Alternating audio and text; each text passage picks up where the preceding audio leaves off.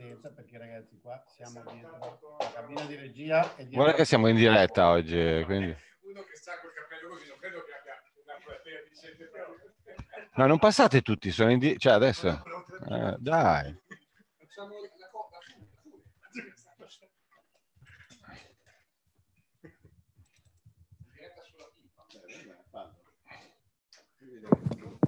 Bene, allora, sentite, se si sente io partirei.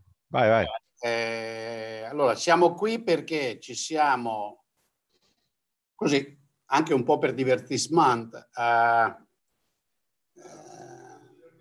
incuriositi, perché a questo punto non riusciamo più a capire che cosa i sostenitori italiani di MMT, altrimenti nota come Modern Monetary Theory, ritengano la teoria eh, diffusa da eh, svariate persone, fra cui Mosler, Ray e altri, a, a, consista.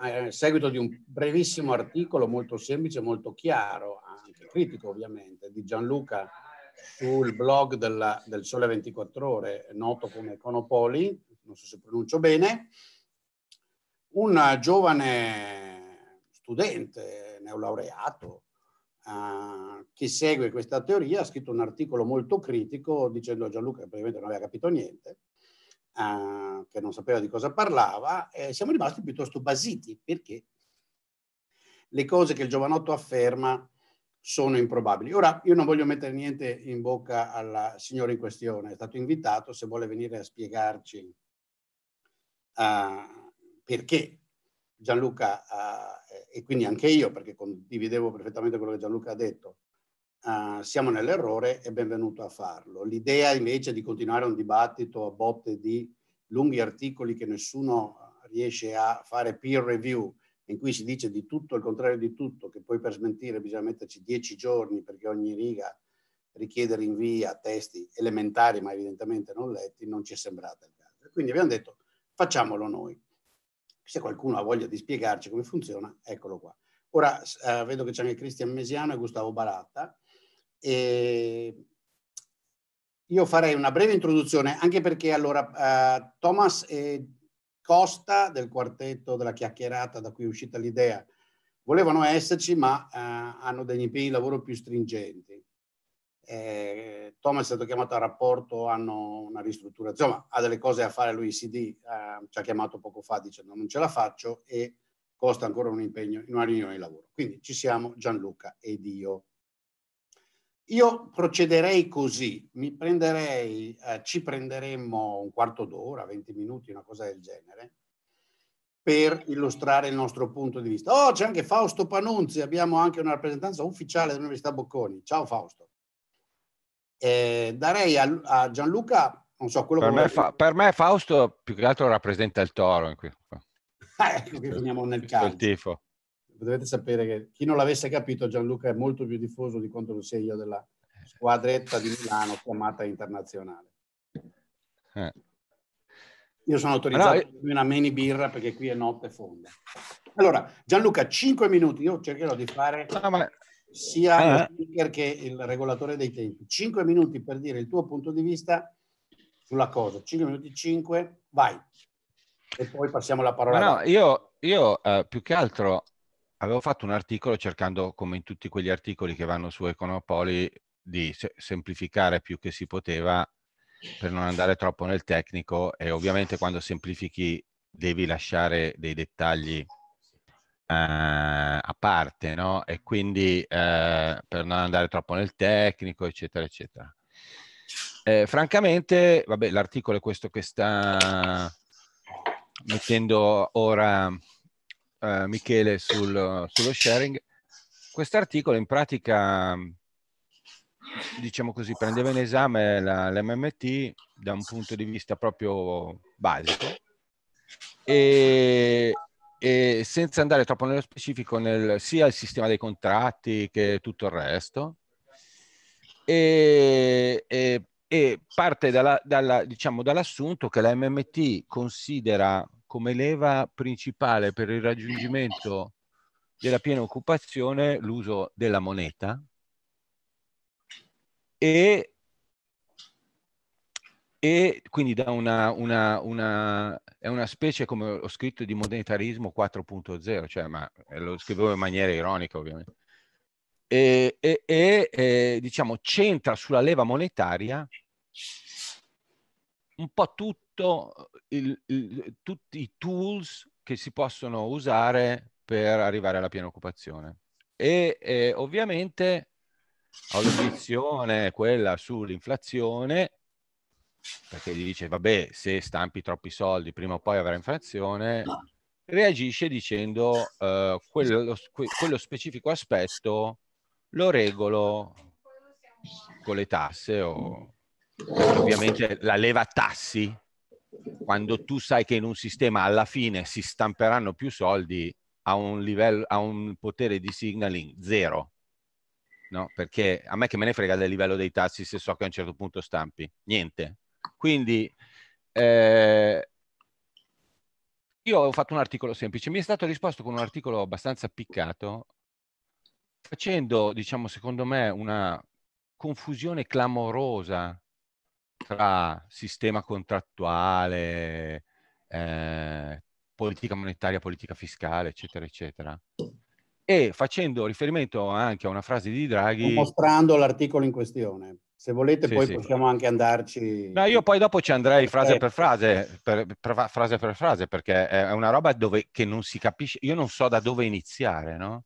Però, diciamo, facendo riferimento a una frase di Draghi o a degli scritti, diciamo, quasi accademici, dove si dice, va bene, discutiamo di questa roba qui che è in fondo politica fiscale, no? Perché se io stampo moneta o a zero le tasse è uguale, cioè alla fine l'effetto più o meno è lo stesso. Quindi... Eh, eh, non saprei da dove iniziare, Michele. Nel senso, qui, per esempio, la prima frase dice una cosa che per me è totalmente sunk, no? cioè irrilevante ai fini dell'analisi. Dice: O alla MMT si attribuisce l'idea di essere una teoria economica e quindi una guida alla prassi legislativa e politica, ma tutti i sistemi giuspositivi hanno una prassi legislativa. Che cosa mi state venendo a raccontare? Cioè che ci sono dei contratti? Sì, lo so anch'io, cioè, e quindi non lo analizziamo perché o si ammette che siamo in Unione Sovietica o in una dittatura dove c'è uno che si sveglia e ti dice cosa devi fare, oppure quel, quella osservazione è completamente irrilevante. Ci sono i contratti. Beh, e quindi, cioè il punto, la mia analisi era, ok, ma tu cosa usi? No? Quali sono i lever che usi per arrivare al tuo obiettivo? E la mia critica è che quella teoria lì, teoria, insomma, questa roba qua, usa fondamentalmente solo la moneta, no? Allora, allora, hai passato, vediamo se hai esaurito, se hai esaurito i tuoi cinque minuti. Io direi, sì, andiamo sì, per ordine, anzitutto chiedo ai tre che sono in rete se ci sentono e se noi siamo in grado di sentire loro nel caso volessero intervenire. Era arrivata una quarta persona, non ho fatto tempo a leggere chi fosse. Sì, neanch'io. Queste tre persone però le conosco, sono da in basso a destra, almeno sullo schermo mio, non so cosa, quale ordine vedano le persone che assistono. Abbiamo Fausto Panunzi, Gustavo Barato sì. e Cristian Mesiano. Allora, Fausto, tu ci senti? Noi ti sentiamo? Sì, sì, vi sento. Perfetto. Gustavo? An- anch'io confermo, vi sento benissimo. Cristian?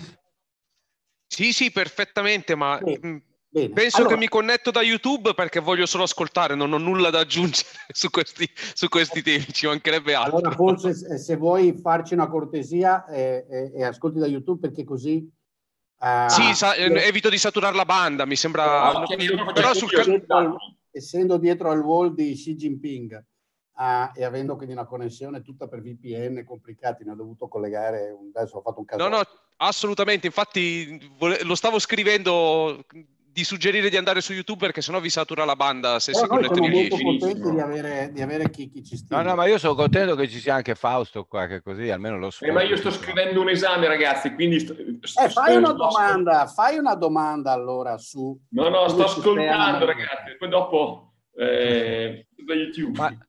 Ma la, la, può fare Gustavo anche che si occupa di cose relate, diciamo così. Mi sa che qua è l'unico, Gustavo, l'unico serio è, è Gustavo, adesso così.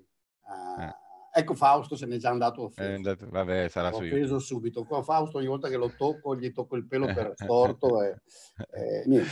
Va bene, allora no, io vorrei chiarire subito una cosa. Tutta la prima parte dell'articolo, è davvero, mi dispiace per questo giovanotto che l'ha scritto. Oh madonna, è sparito Gustavo Baratta. Eh sì, l'ha eh, spaventato io. Per, uh, no, la rete.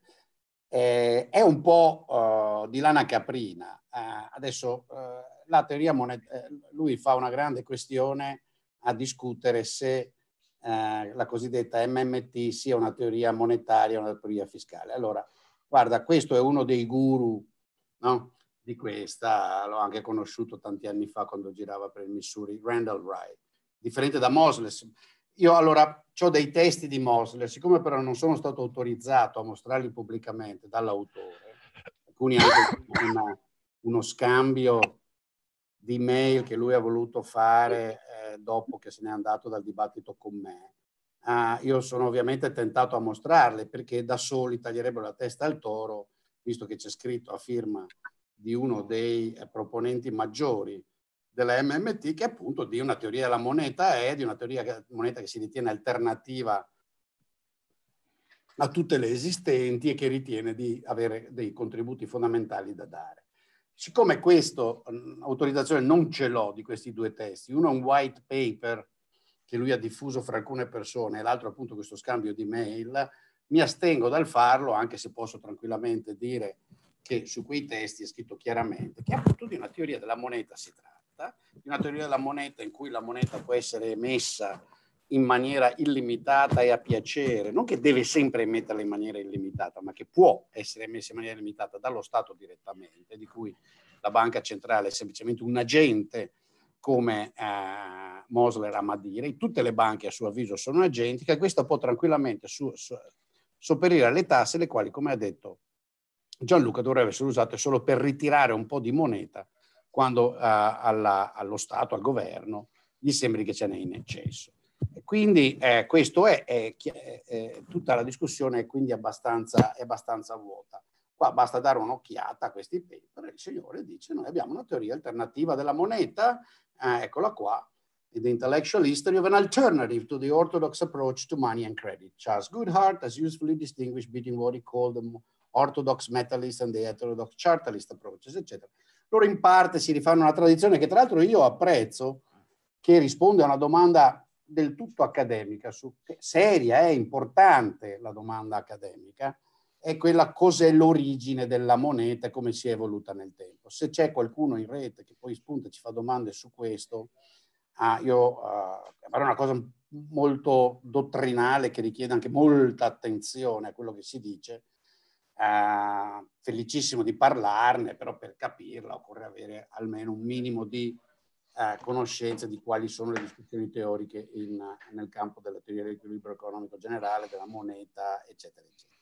Comunque non mi pare sia alcun dubbio che è una teoria della moneta, una teoria monetaria che, si, che pretende di essere alternativa alle esistenti e che dice che lo Stato dovrebbe fare certe cose e in particolare e qui chiudo il mio intervento andando su questo altro, ecco qua, su, credo che per capire, visto che forse qua interessa di più a chi ci ascolta l'aspetto diretto di politica economica, di intervento che si può fare in questi giorni, qui una posizione addirittura pubblicata a sole 24 ore, credo a firma di Mosler e, e, e di un signore scrive articoli un po' strani, Vito Lops, che è una specie di mini intervista, um, in cui è chiaro cosa, cosa suggerisce Mosler. E dice queste cose un po' strane. Ecco. Io queste cose non le riesco nemmeno a discutere perché uno che comincia dicendo lo spread non dovrebbe esistere, sale perché la BCE minaccia di rimuovere la garanzia sul debito pubblico per tutti quei paesi membri che non rispettano le regole di politica fiscale, mi fa un po' ridere. Eh, però mi piacerebbe che ci fosse qualcuno che vuole difenderli quegli argomenti. Io non riesco a discuterli perché argomenti insensati notoriamente non si possono discutere. Ci ho provato appunto con Mosler quando ho provato un attimo a mettere in ordine eh, suoi, le sue frasi incoerenti è scappato. Per questo stasera ci siamo offerti di essere qui.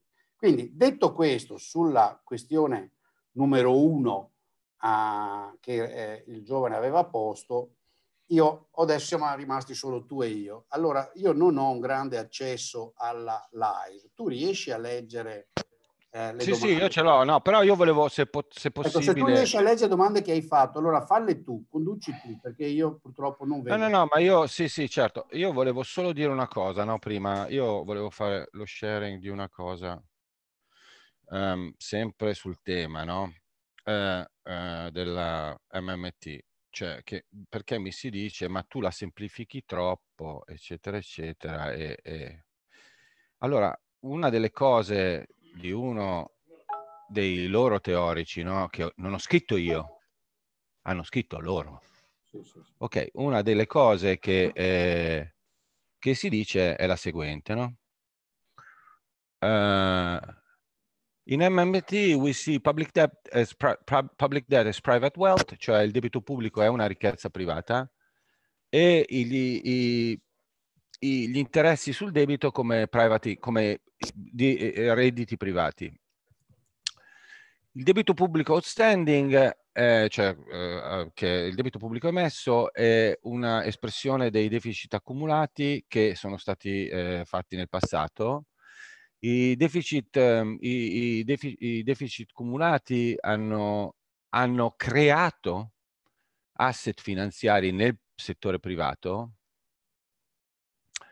solo se la domanda per beni e servizi, eh, cioè, providing, cioè nel, nel, modo in cui la domanda di beni e servizi è riuscita a farci mantenere il, il, la crescita dei redditi. Io, tu la capisci sta roba qua che c'è scritta? No. Cioè, eppure Harvard Oddio. Business Review, non è che l'ho scritto io questa roba qua. Vabbè. Business Review non è esattamente la migliore. No, no, ma dico, uh, vabbè, uno di loro, no? Proviamo, proviamo e... a leggerla lentamente, no? Eh, eh, sì, perché anche lì, no? Anche questo articolo qui fa la, la, il paio con quell'articolo lì.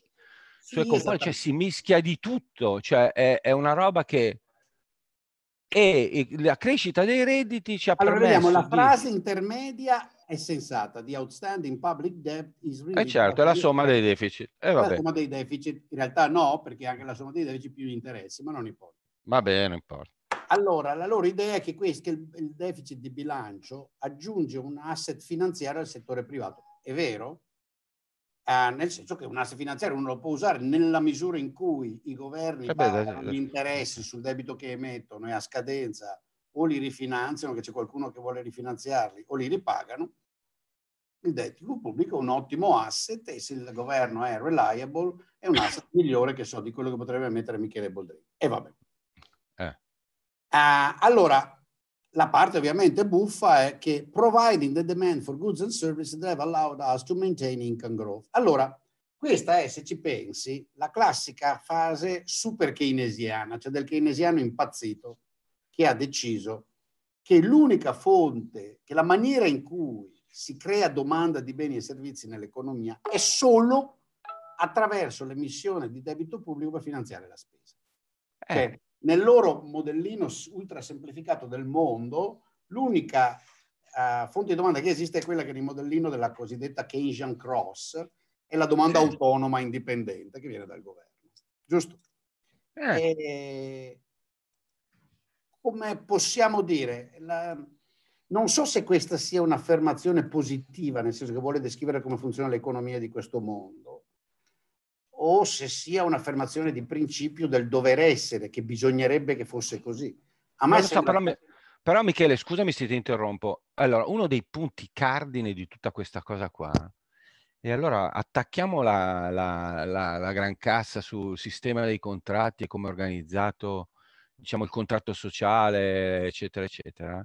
Una di queste, delle cose principali dell'MMT è che e ne hai discusso anche tu con Mosler e tu l'hai contestato quasi da un punto di vista più tecnico che filosofico, è quando ti dice siamo tutti agenti del governo, no? Tutti, giusto? Perché quello dicono loro, no? Le banche sono agenti del governo, tu in quanto creato, il governo ti ha creato gli asset direttamente o indirettamente, sei agente del governo.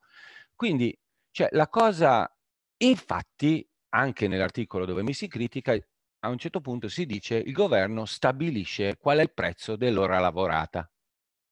No? Se tu vai a vedere, se fai vedere eh, in questo articolo che, di critica nei miei confronti, dice il governo stabilisce anche l'ora lavorata. Quindi il prezzo dell'ora lavorata. Quindi eh, cioè, si immagina una specie di leviatano con un politburo che attraverso la, la quantità di moneta crea una specie di organizzazione dove tutti agiamo in, in, in, in coordinati, spin, spintanei, diciamo così, da lui. Cioè che però allo stesso momento si dice che si vuole uno Stato piccolo. Cioè, allora io anche qui, cioè, poi io non avrò capito un cazzo, per carità, scusate il francese, però eh, francamente si dovrebbero mettere d'accordo, perché se siamo tutti agenti del governo, siamo tutti agenti del governo. Non è che possiamo essere agenti del governo da, a metà. Cioè, eh, e questa è, è l'altra cosa, no? Quando loro dic dicono, ah, eh, l'MMT non è solo la moneta, ma è un sistema legislativo, eh, purtroppo aggiungo io, perché se, se, se, se lo vogliono fare così, non so se a me piace, no? Per esempio. E infatti io nel mio articolo critico anche quel punto, non è che lo faccio andare, lo critico dicendo, vabbè, volete uno Stato piccolo, però poi siamo tutti agenti del governo. Poi tu hai contestato Mosler sul fatto che le banche, in quanto, voglio dire, accentratori del sistema dei pagamenti, non vuol dire che quello sono agenti del governo, perché lui ti ha detto così, no? Durante quella famosa call. Lui ti ha detto, eh, le banche... Eh, eh, prendono le tasse e quindi, cioè sono quelle che raccolgono le tasse e quindi sono agenti di governo. Che cazzo vuol dire? Eh, allora anche le poste eh, o i tabaccai. cioè, sei senza microfono, Michele, scusami. Sei senza microfono, non ti sentiva. Quindi quello che voglio dire... Rumori, sì, tutti quelli che fanno la ritenuta d'acconto, sai, per quello, anche tutti quelli che eh, fanno... ha capito. Tutti agenti Sì, lascia cioè, è... una cosa, lascia che una cosa per chiarire questo. A me eh. piacerebbe di nuovo, non so se ci sono domande lì che tu vedi. No, non ne vedo. No, non ne vedo. Un attimo che hai mostrato, visto che ne passano tante, però sono andati via tutti quelli che volevano stare con noi. Sì, no, no, ma no, sono lì, ce ne sono... Vediamo che Emanuele Dri. Allora, finché Man- eh. Emanuele Dri ci senti? Sì, un giovane... Ah, lo vedo qua.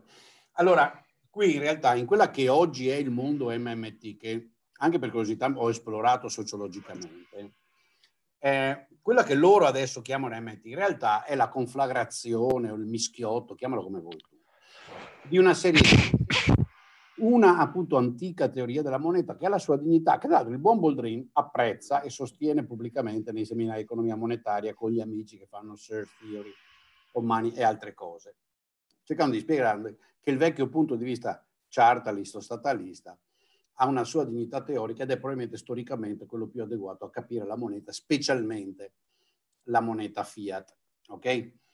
La sua origine, la sua funzione, eccetera. Che è perfettamente integrabile nei modelli macro che usiamo, ovviamente ha delle predizioni un po' diverse, ma io l'ho anche spiegato, ho fatto, per chi è interessato, c'è un vecchio video mio con Francesco Lippi cui discutiamo la questione, ci sono due video miei alle origini, del, del, non di questo canale, ma del mio, in cui eh, in due pillole la domenica mattina cercai di spiegare in che senso, usando l'approccio chartalista, a questo punto non mi va di chiamarlo MMT, ma proprio chartalista, si riesce a capire che differenza c'è fra due passività del governo, una chiamata moneta e l'altro insieme di passività dei governi o degli stati, se volete, perché non sono passività dei governi, sono passività degli stati, è una cosa diversa, chiamate debito pubblico usando una metafora che cercavo di semplificare, ma che si può rendere esatta e matematica, il fatto che uno è un claim eh, su, appoggiato dalla legge, dalla forza del governo, al GNP prodotto oggi, cioè la moneta e alla ricchezza in essere oggi, l'altro invece è un claim al, sul GNP prodotto nel futuro. Allora, questa teoria ha la sua dignità. Loro ci hanno aggiunto una serie di miracoli di stampo a metafora il marxista e il keynesiano ok? Cioè l'idea che stampando moneta, mettendo moneta, acquistando beni e servizi a go-go crei piena occupazione, l'idea che puoi mantenere comunque, imporre i tassi a zero, l'idea fondamentalmente che uh, un governo, a loro avviso, che utilizzasse lo strumento monetario per l'acquisto generalizzato di beni e servizi potrebbe mantenere sia occupazione stabile al 100%, diciamo la piena occupazione, sia stabilità dei prezzi.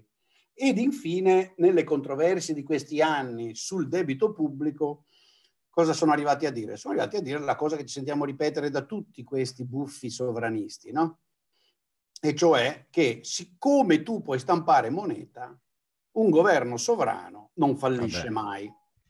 Questa è una cosa che abbiamo, dis- esatto, abbiamo discusso mille volte ed è un gioco di parole.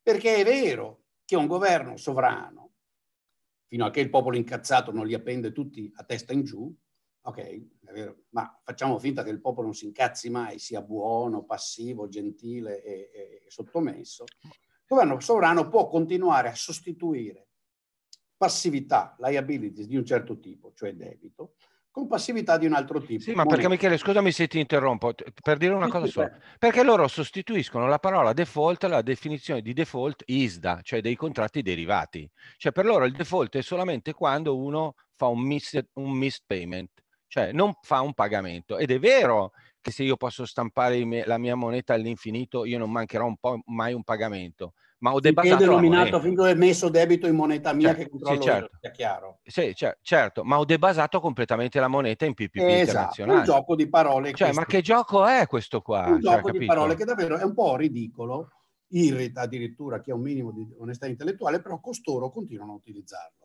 Gianluca mi arriva continuamente, Vry va in giro continuamente, ripeto, una cosa fastidiosa, perché infatti il mondo è pieno di esempi che dicono certo, tu tutte le volte che hai emesso debito, ah, e che non riesci a raccogliere risparmio vero, privato, di risorse reali per ripagarlo, puoi semplicemente creare moneta perché ne hai il monopolio, perché hai il monopolio imposto con la forza. Sì, no, no, si rifanno Dai, sempre aspetta, frase... qui c'è una cosa su cui poi voglio tornare.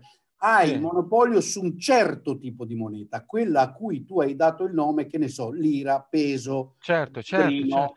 Eh, ma no, ma scusami Michele, ma, ma, ma scusa Michele. Ma, fammi riferimento, dai, che sennò io te ci... Fammi sì. Allora, alla gente, siccome c'è il mitra letteralmente come Maduro, gli dici, ascolta, tu c'hai un, un buono che ti diceva che io ti ho messo dieci anni fa, che diceva che ti avrei pagato un milione di lire. Boh, top, un milione ecco di qua, lire. su sta roba c'è scritto un milione di lire e sono buoni, fregatene. Con quel milione di lire adesso ti puoi comprare al più un paio di scarpe, mentre quando me le hai prestati tu potevi comprarti due case. Affari tuoi. Io non ho fatto default. Questa è tutta la loro teoria. Punto. Eh. È, questo, è quello che dico io, è che non ci si può rifugiare dentro questa stupidaggine del fatto che non c'è un missed payment e quindi non c'è tecnicamente un default, perché questo non vuol dire assolutamente nulla, cioè non, non ha nessunissimo significato economico. E, e, e, ah, quindi, e quindi riferirsi alla frase di Draghi o di Greenspan che rispondono in maniera teorica a un problema teorico, cioè è vero che un governo che stampa i soldi non fa mai default sotto quella definizione di default. Sì, è vero, ma questo lo dico anch'io, non c'ho bisogno di essere un memettaro, no? Cioè, il problema è chi se ne frega. Cioè, non è quello il punto. Se no, esatto. Venezuela, Zimbabwe, eccetera, eccetera, non sarebbero successi, no?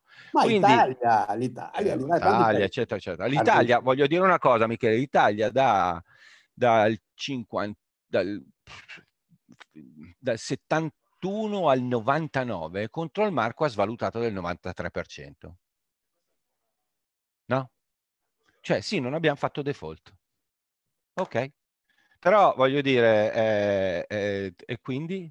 Cioè, il punto qual è? Eh, eh, aggiungo io per l'altra branca eh, di fenomeni che sono quelli della svalutazione che aumenta la produttività.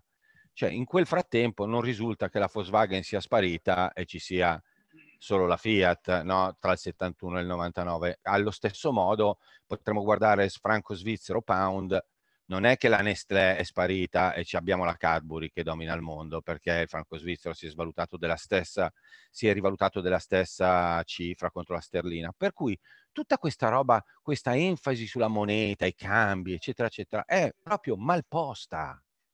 Cioè, e lo dico da appassionato. Questa cosa l'abbiamo chiarita, visto che abbiamo Emanuele qua che ci ha raggiunto e mi sembra non andare... Sì, che magari si è rotto i coglioni. Eh. allora, Emanuele, la parola a te. Non ci conosciamo, ma presentiamoci. Sì, eh, io sono... Mi sentite? Sì. Certo. Ok. Eh, spero di non avere troppi problemi con l'audio. Eh, sono Emanuele, sono uno studente di ingegneria in realtà, quindi purtroppo non mastico moltissimo economia, però diciamo che seguendo i video eh, Liberio Oltre, il professor Boldrin, ho cercato di costruire no?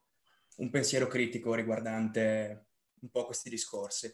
E, insomma, ormai anche a me appare chiaro un po' l'estrema eh, fallacia di questa teoria, insomma, eh, si cade in una semplificazione che, che, che non può reggere, no? Che delusione, io speravo che tu venissi a difendere. no. no, no, ingegnere, oh, ingegnere, roba seria, oh, mica, mica le cazzate che studio io. Eh. No, assolutamente, però eh, la mia domanda è, e prende in realtà, se posso fare la, do, la domanda, perché non so. Eh, certo. Eh, prende in realtà lo spunto da, da una cosa di cui forse si era già anche discusso, cioè nel 2014 l'economista eh, a favore della, della, MMT, la Stephanie Kelton, che viene nominata in carica come economista capo della Commissione Bilancio no? nel Senato statunitense. Eh. Allora la mia, domanda, la mia domanda è, chiaramente in un contesto come quello italiano non ha senso, ma eh, pre, pre, eh, me, po, mi pongo, insomma, mi, mi paro un po' dicendo che secondo me la risposta sarà no, ma ci, esistono dei contesti diversi da quello italiano in cui potrebbe essere sensato pensare a uno schema del genere, magari a fronte di eh, una posizione internazionale molto più forte o appunto un, un, una produttività molto meno problematica eh, rispetto a quella del contesto italiano, cioè in questo senso. Anche, anche cioè, tu, tu, stai chiedendo se, cioè scusami se capisco bene, no? tu stai chiedendo se esistono delle condizioni in cui quella roba lì vale. Sì, condizioni reali, eh, non, non, non ideali. Specifichiamo, cioè, Manuele, puoi specificare, ecco è arrivata un'altra persona, Davide Marco Cordino, ciao.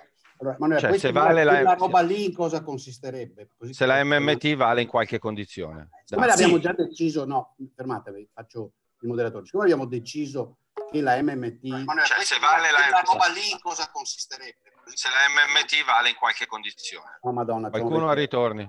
Mm. Eh, spegnete il microfono perché avete... Chi, chi, è, chi, chi, è, collegato qui non stia su, Davide, su YouTube. Chi, è collegato esatto. qui spenga, spenga la trasmissione su YouTube. Mm. Allora, siccome la MMT è fatta di varie proposizioni, tra cui quella che appunto eh, il governo comprando beni e servizi e stampando moneta raggiunge la piena occupazione. Eh, puoi specificare quale proposizione? Se vuoi ti do dei suggerimenti, le elenco, però... Dic- io, io, prevalentemente mi legherei al concetto del, del, dello stampare moneta come soluzione di fatto un po' come panacea di tutti i mali, nel senso eh, l'utilizzo pesante della, della, del fatto di stampare la moneta, okay? adesso io devo cercarmi termini, ma insomma quello che era anche un po' l'idea del cartalismo, no? Cioè in certi sensi il, non so se mi sono spiegato. La mia risposta? No. Posso aggiungere una cosa? Mi sentite? Sì, prego. Sì, io volevo dire, ecco, eh, intervenendo sul, sullo stesso tema di Emanuele, eh, ricordo che, di aver letto recentemente un articolo di Schiller sul New York Times che parlava appunto di MMT. Eh, Schiller, vabbè, Nobel nel 2013, come sapete, e diceva ok questa roba non ha molto senso però fino a un certo punto eh, in certi tipi di economia come diceva Emanuele potrebbe aver senso. Quindi di, di, cosa parliamo? parliamo magari dell'economia statunitense che ha una produttività diversa da quella italiana un tasso di disoccupazione basso un'inflazione eh, non troppo elevata eccetera. Ci dice finché eh, noi investiamo, quindi facciamo investimenti pubblici in deficit, spendiamo soldi con eh. Eh, prendendoli a prestito, eh, sostanzialmente la, la, la, gente compra il nostro debito pubblico e noi gli restituiamo tra eh, 20-30 anni meno soldi di quelli che eh, ci danno appunto tassi di interesse negativi e quant'altro. Se il nostro investimento pubblico diciamo, ha dei tassi di rendimento superiori a quelli uh, appunto uh, di, diciamo del tasso di interesse a cui ci indebitiamo, allora a quel punto il, diciamo, Vabbè, il figlio, figlio mio, però, però, scusami, scusami se ti interrompo. Intanto, cioè, se, il tuo, se la tua premessa è che i, i tassi a cui ti indebiti sono negativi, eh, devo presumere che almeno il tuo investimento abbia un ritorno di zero, no? Perché se no No, capisci? Cioè, non puoi... Allora, il tema di... Eh, il male che vi ha fatto tutta questa roba, scusa Michele se... Il male che fa tutta questa roba qua, tipo la MMT, è che vi fanno i mischioni, no? Per cui vi mettono insieme di tutto. Cioè, mettono insieme politica fiscale, politica monetaria, eh, i contratti, cioè fino a dove arriva il perimetro dello Stato? Cosa deve decidere lo Stato? Quali investimenti? Cosa vuol dire strategico? Poi tu hai Vabbè, fatto adesso riferimento, riferimento a un ritorno... A un, tu hai fatto un riferimento al ritorno sull'investimento, quindi lo Stato in questo schema è un competitor dei privati? Cioè lavora mettendo giù capitale con ritorno vi state, vi state, vi state no, perdendo. No, capisci? No, no, no, è questo. No, non mi sto perdendo. Ti sto dicendo che tu, nella domanda che hai fatto, hai un mischione dentro di cose, no? Che, ma no, non lo dico per rimprovero, no? Lo dico che sono tutte cose separate. Capisci? Mm. Cioè, eh, eh, eh, eh, cioè, per esempio, stampare moneta o emettere bonds eh, può sembrare la stessa cosa. Beh, non lo è. Assolutamente non lo è. Quindi, cioè, scusami Michele, ho, ho, ho, finito, ma quello che voglio dire è che ci sono, per rispondere alla prima domanda, ci sono delle condizioni cosiddette chiamate dagli economisti di slacco, di recessione, eccetera, eccetera, in cui politiche fiscali aggressive possono funzionare. Però sono scelte che, come Michele dice, poi devi valutare su un periodo molto lungo, quindi sono scelte che hanno aumentato il PIL potenziale quindi poi il debito su PIL scende? Sì, no, perché anche Keynes non ha mai detto che il debito deve sempre salire, mai. Ha detto fate deficit quando c'è recessione, fate investimenti, ma poi quando c'è, eh, quando c'è l'espansione deve rientrare tutto, capisci? Per cui cioè, anche lì, io voglio che mi facciano vedere anche i keynesiani dove Keynes ha scritto che il debito può andare all'infinito, perché non c'è da nessuna parte, non c'è nessun suo scritto. Quindi, cioè, il tema è, vi fanno fare confusione tra emissione di moneta, Stato che investe, Stato che taglia le tasse, Stato che... Cioè, ma non è tutta la stessa roba, capito? Non è un calderone unico. Poi vi dicono, per esempio, citano quelli, quegli altri della svalutazione, dicono, eh, ma la Danimarca no? che c'è la sua moneta. Sì, cazzo, la Danimarca non svaluta dal 78 però. Capito? Cioè, non è che siccome la sua moneta svaluta, il contrario. Capito? Quindi c'è... Cioè... Anche tu stai facendo un mischio, adesso faccio il cattivo. No, no, lo so, buono. era per dire... Buono, sì. buono, buono, buono cazzo. Allora, provo a mettere in ordine la, la, la domanda di Emanuele e Davide. Eh, eh, corre... vado per, per passetti e quando mi sbaglio, cioè dico delle cose che voi non avete in mente, mi fermate. D'accordo? Allora, primo punto, prendiamo un paese con le caratteristiche, per esempio, degli Stati Uniti. Ok? Gli Stati Uniti hanno un tasso di occupazione basso, un debito pubblico alto, inferiore al nostro in percentuale del PIL, però bello alto, ok? Uh, un debito pubblico che di cui la gente ha fiducia, se lo compra e pagano degli interessi ma bassi e lo rinfinanziano, d'accordo? E poi hanno un'economia che diciamo soria sulla produttività, questo e quello, le aziende che vanno, cioè 10.000 cose, inutile che le mettiamo tutte assieme. Come un'economia, chiamiamola solida, che va, d'accordo? Allora voi dite, sarebbe sensato se negli Stati Uniti facessero più di quanto hanno già fatto la seguente operazione. Il braccio, quel braccio del governo degli Stati Uniti, perché di fatto lo è, chiamato Fed, ok?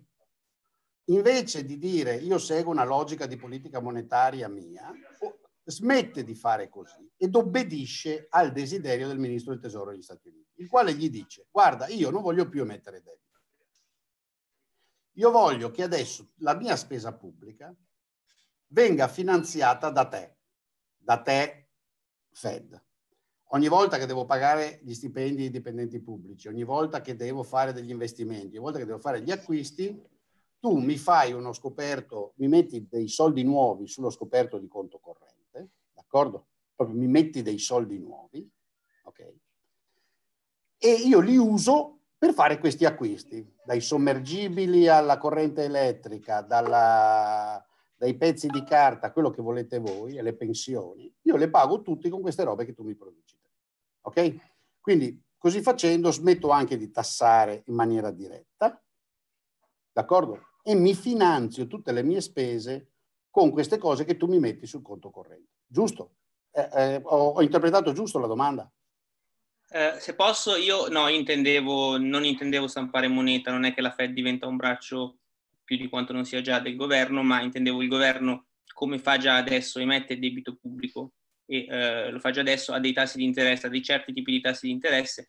Quello che dicono, mh, non, quelli, non diciamo i sostenitori dell'MMT, ma eh, chi li critica, ma eh, appunto condivide certe cose, come facevo l'esempio di Schiller, dice ok, se noi eh, emettiamo debito eh, a un certo tasso eh, e facciamo con quel debito, con quei soldi che ci vengono dati, degli investimenti strategici, per strategici intendo le classiche cose istruzione, spese in istruzione, spese in infrastrutture, non eh, quota 100 e, e, cose del genere, se quegli investimenti lì hanno un tasso di rendimento, quindi aumentano il PIL potenziale in maniera superiore al tasso a cui noi ci stiamo indebitando, il rapporto debito-PIL tra uh, 5, 10, 15 anni, perché sono investimenti strategici, andrà a scendere anche se il nostro debito pubblico in termini assoluti uh, andrà a, ad aumentare. Questo era quello che dicevano e io chiedevo appunto questa cosa qua si può fare o non si può fare. Me la devi spiegare di nuovo perché non ho mica capito. Cioè, eh, Schiller ha detto una cosa molto specifica, ma cos'è che vuoi fare? Me lo puoi Prendi dire dei soldi in prestito a tassi di interesse bassi, quindi se riesci a finanziarti sul mercato a tassi bassi o addirittura negativi, come potrebbe fare ad Ma esempio... questo lo fanno già, questo lo fanno già, no? Sì, esatto, con quei soldi che prendi in prestito eh, mm. fai degli investimenti pubblici che sono notoriamente, diciamo, almeno considerati eh, aumentare il PIL potenziale, come esempio investimenti in, in, ma ve- in Scusami, ma vedi perché, Michele, vedi Michele, perché dicevo Ah. Vedi perché mi, mi, dicevo che si mischiano le cose? Scusami se te lo dico, ma tecnicamente quando tu emetti dei titoli di, di, di titolo di Stato, tu fai un'operazione che da un punto di vista monetario è di segno opposto a quello di stampare la moneta, perché la dreni dal sistema. Quindi, cioè, il tema, il tema, per quello che vi dico, vi ha fatto un male sta roba qui, sti pateracchioni che fanno. Cioè, quello che tu stai proponendo è una ricetta, diciamo così, abbastanza tradizionalmente keynesiana, no? Cioè che il momento sia di recessione o non di recessione, c'è un attore che è lo Stato che fa degli investimenti pubblici con degli orizzonti temporali magari diversi da quelli del settore privato, no? e che quindi ha capacità di prendere a prestito i titoli più grande del settore privato e quindi può permettersi delle robe che se, alcuni operatori privati da soli non potrebbero permettersi. Questo al di là fa, poi del famoso moltiplicatore dell'investimento pubblico superiore a 1 o non superiore a 1, per cui è quello che fa salire o scendere il debito PIL, quello è una cosa che già, come diceva Michele, e ho finito, è già così. In, più o meno tutti gli stati la fanno, il nostro meno, altri di più, ma è già così No? Non, non, c'è una differenza, è diventato mainstream anche quello no? da, da Keynes in giù. Quindi quella è una cosa completamente diversa, quasi diciamo così canonica, non, non è né estrema né eterodossa, cioè è abbastanza ortodossa, ma è una roba normale che poi ogni Stato ha capacità di fare più o meno bene e si vede nel fatto che la crescita di, cer- di PIL di certi paesi eh, è più alta o più bassa di altri. Faccio, l'ultimo esempio che faccio, Michele, sugli ultimi cento anni, lo guardavamo io e Thomas, gli Stati Uniti e la Svezia sono cresciuti più o meno in maniera nominale dello, eh, e anche reale dello, dello stesso, con lo stesso numero. No? E sono due organizzazioni di due stati completamente diverse, Grecia, scusami, Stati Uniti e Svezia. No? In una c'è uno stato più presente, a livello di tassazione molto più alto, l'altro no, quindi non è che esista una ricetta, cioè un buon economista ti risponde sempre dipende a, davanti a una domanda come la tua, no? Perché dipende cosa fai, chi lo fa, come lo fa. No? Per cui non esiste una risposta univoca no? su una domanda così. No? Ci sono organizzazioni istituzionali, eccetera, eccetera, di stati, di contratti, eccetera, che vanno bene a fare quella roba e altri no. Lo fa in Italia, noi col, col debito pubblico che abbiamo avremmo dovuto avere uno stock di capitale con le autostrade che ti portano in gondola su Marte no? E invece non è così, giusto? Perché i soldi non li hanno usati per quella roba lì ad alto potenziale che dici tu. Ma lascio, voglio venire all'elemento tecnico, uh, perché c'è un elemento forse anche per chi ci ascolta, ma forse anche per, uh, per Davide e Emanuele, che vale la pena capire. Nel meccanismo attuale di creazione della moneta, okay, uh, vi sono, diciamo così, semplifico, due stadi un primo stadio che inizia con la banca centrale, che crea quella che chiamiamo high power money, M0, base monetaria, qui ci sono piccole distinzioni, ma sì, veramente dai. secondarie, cioè davvero, credetemi, non vale la pena. E cioè cosa fa la Fed? Dice, io emetto una passività che si chiama moneta, cioè riserve. La faccio mettendogli a fronte nel mio bilancio un'attività, e cioè dico, guardate mondo, io sono indebitato per questi 100 milioni di dollari che ho emesso, però non li ho emessi regalandoli e quindi perdendoli. A fronte di quei 100 sono andato sul mercato e ho comprato delle attività, cioè degli asset. Tipicamente, tipicamente oggi le attività che la banca centrale compra e mette nel suo bilancio a fronte delle passività sono quelle che chiamiamo securities, titoli, in grande parte titoli di debito pubblico di, di, dello Stato suo, ma anche di altri Stati e anche di privati. Nelle, nelle operazioni di politica monetaria fatte nell'ultimo decennio si sono comprati buoni, uh, mortgage bonds e cose altre che sono cosa quelle cose che compra? Sono delle promesse di altri soggetti, imprese o, o, o Stato che raccoglie tasse, che dice guarda, io qua mi impegno a, a pagarti con delle risorse che ricaverò nel futuro, ok? Uh, dei valori della, della, della, della, moneta che raccoglierò al tempo attraverso queste mie attività. Quindi fa esattamente la stessa cosa che fai tu o che fa la banca con te, ok? Quando la banca ti fa credito per comprarti la casa, ok? E quella è la, la, la, ti fa credito a te, quindi eh, crea una passività perché si impegna di fornirti contante, diciamo così, per andare a comprarti la casa. Però a fronte cosa ci mette? Ci mette da un lato proprio l'ipoteca sul valore della casa, che esiste. Capisci? Infatti tipicamente ti dice quella casa deve essere tua per una certa percentuale. Quindi che so, io ti, prego, ti presto 300, però 100 ce li hai già, che sono nella, ca- nella quota di casa che ti sei comprato. Gli altri 200 sono una passività tua e un'attività mia, cioè è la tua promessa che ha valore legale che con il tuo reddito, con i tuoi stipendi, con i tuoi guadagni, tu mi pagherai progressivamente negli anni il valore di quei 200. D'accordo? Ecco, allora, nel primo caso, quello della banca centrale, fa così e crea la moneta, chiamiamola M0. Nel secondo caso, poi nel terzo, la cosa si può ampliare, le banche commerciali o le banche in generale creano moneta bancaria, okay, che è la grande quantità della moneta che, si utilizza. Se volete vado sul sito di Fred e vi mostro la differenza che c'è fra la quantità di M0 in giro e la quantità di questa altra roba che include M0 ma anche extra, anche la moneta emessa dalle banche, chiamiamo M1, M2, M3. Perché? perché distinguiamo i loro diversi livelli di liquidità. Ci sono i conti correnti, ci sono, una volta c'erano i traveler's check, ci sono i depositi a risparmio, ci sono i money market account, ci sono tante altre robe. Adesso, di nuovo, non voglio andare troppo nel tempo. D'accordo? Ecco, così avviene oggi la creazione di questi differenti tipi di moneta che sono più o meno fra loro sostituibili. Infatti, se notate, quando c'è paura, per esempio, quando la banca X che ha emesso moneta perché ha dei crediti fatti, quindi ha, ha, della moneta che ha introdotto nel sistema, va in crisi per qualsiasi ragione, perché magari ha, ha fatto prestiti a cazzo, giusto? Gli assegni e le promesse di pagamento di quella banca non se li accetta più nessuno. No? Quella banca va lì e dice, ma io vorrei pagare con uh, questo mio scoperto. No, no, guardi, non mi fido perché a occhio e croce lei va in fallimento. D'accordo? Ok, quindi questo è il meccanismo. Il meccanismo sì. alternativo è un meccanismo che è dubbio che possa funzionare alla grande, perché in cosa consisterebbe? In quel meccanismo, voi capite, che la banca centrale, se facesse la cosa che avete detto, che avete suggerito, non utilizzerebbe più la nuova moneta creata per darsi a comprare delle attività. Giusto? la regalerebbe allo Stato, il quale a sua volta con questa comprerebbe beni e servizi che consuma. Ma quei beni e servizi che consuma non finirebbero nell'attivo della banca centrale né dello Stato perché se li consuma. Che so, per esempio, paga pensioni. A quel punto, quando ha pagato pensioni, addio patria, sono andati. E quindi a quel punto quella moneta circolerebbe okay, in maniera totalmente fiduciaria, nel senso che la gente la accetta se e solo se ok? è disposta a credere ed è convinta che tutti quanti l'accetteranno per sempre a un dato valore di mercato. Ora, sia chiaro, questo secondo meccanismo, tra l'altro, non è specifico di MMT.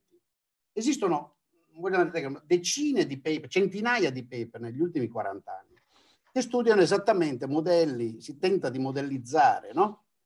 uh, la creazione di questo tipo di moneta con varie teorie, modelli, argomenti, search, alcuni dicono la moneta è un sunspot, cioè una credenza, no? Tutta, finché tutti siamo d'accordo che è buona quella robina gialla, prendiamo quella robina gialla. Poi per caso salta la fiducia in quella robina gialla e se ne va la robina gialla, nessuno la vuole più. Okay? Questa è la grande differenza. Okay? E mi fermo qui, spero di aver sì, io, io, io, io provo, provo, provo, a dirvela, in una, una volta mi hanno portato in un liceo, ho cercato di spiegare un po' la moneta, no? cerco di spiegarla così e si attacca proprio all'MMT. No? Fino a quando la moneta era convertibile in oro,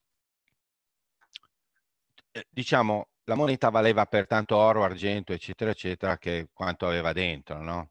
Eh, a un certo punto, eh, diciamo così, siccome è scomodo andare in giro con le tonnellate d'oro, no? prima i, i, alcuni banchieri fiorentini creano le famose lettere di credito e poi a un certo punto nei tempi moderni si passa a una moneta, diciamo così, eh, stampata su dei pezzi di carta che hanno sopra scritto un numero. Allora, che cosa fa questa roba qui?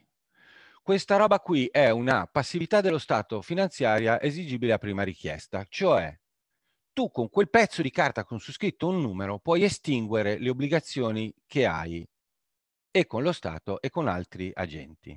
No? E lo Stato cosa fa quando stampa quella roba lì, quei pezzi di carta? Si impegna a, stappar, a stamparne una quantità la più piccola possibile perché come tutti i beni, se aumenta la circolazione di quei beni, ne perde il valore. L'MMT cosa ti dice? Quando ho un problema stampo. Ora, indovina, uno mi chiede lì cosa vuol dire debasare la moneta? Vuol dire quello che sto dicendo. Vuol dire che non è che è un caso, no? Che lo Stato stampi il 2% all'anno in più di quella famosa M0 high powerful money che dice Michele, che sono fondamentalmente, facciamo finta che sono i biglietti, no? O le monete, in le monete, facciamo finta che powerful money è o biglietti o monete, perché lo Stato ne stampa solo il 2% e non il 10%, il 20% in più all'anno? Vi, vi, dico che cosa segue, perché il 2 o il 2,5 o l'1,8 o il 3,2? Perché? Perché su, facciamo finta che io il PIL de, dell'Italia è 12 bottiglie e lo, stampo, e lo Stato al tempo T0, quando si producono le 12 bottiglie, ha stampa okay, 240 talleri. Quindi ogni bottiglia, siccome ci sono 240 talleri e ci sono 12 bottiglie, costa 20 talleri. Ok? L'anno dopo il PIL sale e da 12 bottiglie si fanno 13 bottiglie. Ma lo Stato invece che stampare 20 talleri in più, stabilità dei prezzi, perché da 20 si passa sempre a 20, non stampa 20 talleri in più. Da 240 talleri che c'erano eh, l'anno prima, lo Stato ne stampa altri 320 e quindi ci sono 560 talleri. Ogni bottiglia costerà 30 talleri. Inflazione 50. Cioè, ho cercato di spiegarvi che la moneta high powerful, quella che dice Michele, segue più o meno, dovrebbe seguire per essere sound money, come la chiamiamo noi, la crescita dei PIL, reale dei PIL. Altrimenti cosa rischi? Rischi fenomeni inflattivi e alla lunga con i fenomeni inflattivi cosa fai? Debasi il valore della moneta rispetto alle, come diceva Michele all'inizio, con un milione, prima ti compravi la casa, adesso ti compri un paio di scarpe. Ora, il tema proprio fondamentale di questa roba qui è che siccome tutto questo meccanismo è basato su la storia di un paese, come sono andate le cose, eccetera, eccetera, una volta, come si dice sempre, che tu hai fatto uscire il dentifricio dal tubetto e hai detto che, che, hai taccato a stampare per risolverti il problema, è molto difficile recuperare la fiducia degli investitori sul valore della tua moneta. E quindi cosa succede? Succede che, come mi ha chiesto qualcuno, perché l'Argentina è fallita perché hai messo in dollari. Sì, ma non è che ha messo in dollari perché gli andava così, ha emesso in dollari perché la gente aveva così poca fiducia nel valore della moneta del peso che non poteva che emettere in un'altra valuta, perché i bonds in pesos non li avrebbe sottoscritti nessuno se non a dei tassi del 50% che tengono conto del fatto che l'anno dopo la tua moneta vale il 50% in meno e quindi tu pretendi di essere pagato per la svalutazione che subirai. Questo è il punto. Non è che gli stati che falliscono per il debito estero falliscano per il debito estero per sfizio. Falliscano per il debito estero perché non riescono più a emettere la propria valuta e se continuano a fare quelle politiche monetarie come quelle che dice l'MMT, come diciamo mi, mimicano quelli della MMT, tu salti in aria perché a un certo punto ti finiscono le riserve in valuta anche se sei un grande paese esportatore e tu non hai più il debito né il tuo né quello estero. Cioè, spero di essere stato più semplice possibile e spero di essere stato più chiaro possibile su questa cosa qua, che non è una cosa difficile, no, la moneta in fondo è, ha, ha, un valore perché? Perché lo Stato ha, e, e, anche i bonds dello Stato in quel caso lì, che cosa ha? Ha il potere di, eh, diciamo, fare esazione delle tasse, no? Per cui tutta questa roba si tiene in piedi se i PIL crescono, no? più o meno, e, e, ovviamente tutti gli attivi no? per il settore privato hanno un valore perché c'è un paese che sta in piedi. Ma se tu attacchi a minare dalle, dalle, dalle fondamenta il valore contrattuale di un bene perché ne metti in circolazione troppo, cioè salta la baracca. Questo è il tema, no? tema, cioè, e lo stesso vale per le svalutazioni e per tutte le altre trick play che questi qui si immaginano che esistono, ma che non esistono. Eccoci, scusatemi. Sì, certo. Correggetemi se sbaglio, vado a memoria. Mi pare che eh, la, la, BCE ta- targettizzi l'inflazione su M3 e che ma no, ma diciamo que- allora questa è una cosa molto più tecnica, guarda, se vuoi, con Michele abbiamo riso tanto su queste cose qua. Michele, non hai il microfono. Michele, non hai il microfono.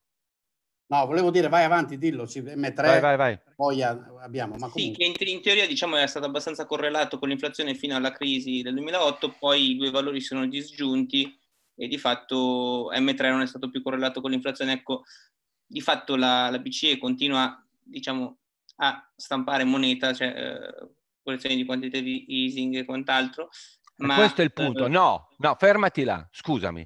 Cosa fa la BCE quando compra un titolo di Stato? Ok? Perché okay, QE, non come, non come quelli che mi hanno detto questi qua dell'MMT che io dico che QE è uguale stampa, il contrario. Perché QE non è stampa? Fammi ti spiegare come funziona. Scusa Michele. Io sono la BCE, compro un titolo di Stato dalla Boldrin Bank, ok? La Boldrin Bank per comprare il titolo di Stato, ricordati sempre, ha cacciato del grano, ok? quindi ha pagato 100 euro okay? e ha ricevuto 100 euro equivalenti in BTP. Io cosa faccio? Faccio l'operazione inversa, parto da Boldrin e gli, e gli ricompro il titolo di Stato con i 100 euro che Boldrin aveva accreditato al conto del tesoro perché aveva comprato il BTP dal tesoro, ok? Quindi il tesoro cosa ha fatto? Ha sequestrato 100 euro di Boldrin dal sistema, giusto? Li ha levati, se li ha accreditati sul suo conto e ha emesso 100, quindi ha scambiato moneta con un'attività che è quasi moneta ma non è moneta, perché non può venire usata per pagare le caramelle, con un BTP non ci paghi le caramelle. Ok, io cosa faccio ECB? Il contrario, vado da Boldrini e gli dico mi dai 100 euro di BTP e rimetto moneta, ok? E mi compro il BTP. Quindi a questo punto cosa succede? Il Boldrini si trova riaccreditati 100 euro nel conto corrente che aveva prima di comprare il BTP. Io ICB ho il BTP, il tesoro è come prima. No? Giusto? Quando scade quel BTP, che succede? Che il tesoro cosa fa? Emette altri 100 euro di BTP. Giusto? Perché quando scade un titolo di Stato, cosa fa il tesoro? Riemette un titolo di Stato nuovo. Ok? Quindi scadono i 100 euro di BTP, il tesoro mi ridà i 100 euro che si era tenuto, ma riemette nello stesso momento altri 100 euro di BTP. E risequestra 100 euro invece che da me, da lui. No? Ma il sistema sta a zero. Non è stato creato niente. Ok? È una roba in cui il tesoro sequestra moneta temporaneamente la riemetterà quando, quando, quando, per un secondo e mezzo, quando scade il titolo di Stato, prima che riemetta l'altro. Se poi non lo riemette, è un altro discorso. Dopodiché l'ECB cosa fa? Non è che l'ECB compra il BTP da Boldrin e quando scade il BTP lascia fuori i 100 euro che aveva dato a Boldrin, no, perché il tesoro che li risequestrerà emettendo un nuovo BTP. Quindi il QE non è stampa, quello che distingue la stampa dal QE è la temporaneità, ok? Cioè quelle cose che si fanno col QE di immettere moneta contro attività quasi moneta che sono i BTP in maniera temporanea finché il BTP non scadrà, che è la stessa identica cosa che fai tu quando compri una casa o la vendi. Nel senso, quando tu compri una casa, ok? Uno è vero, tu gli dai 100 euro a lui, no? E tu ti tieni la casa. Il sistema aveva 100 euro sul tuo conto corrente, ce ne avrà 100 euro sul suo conto corrente. Quindi è rimasto uguale, come era prima. Si è solo girato un 100 euro da una parte all'altra. Ma quello là, quando ha comprato la casa, anche lui aveva speso 80 euro, facciamo finta, e aveva accreditato 80 euro a qualcuno. La moneta non è mai cambiata. La quantità di moneta non è mai cambiata. Power money non è mai cambiata.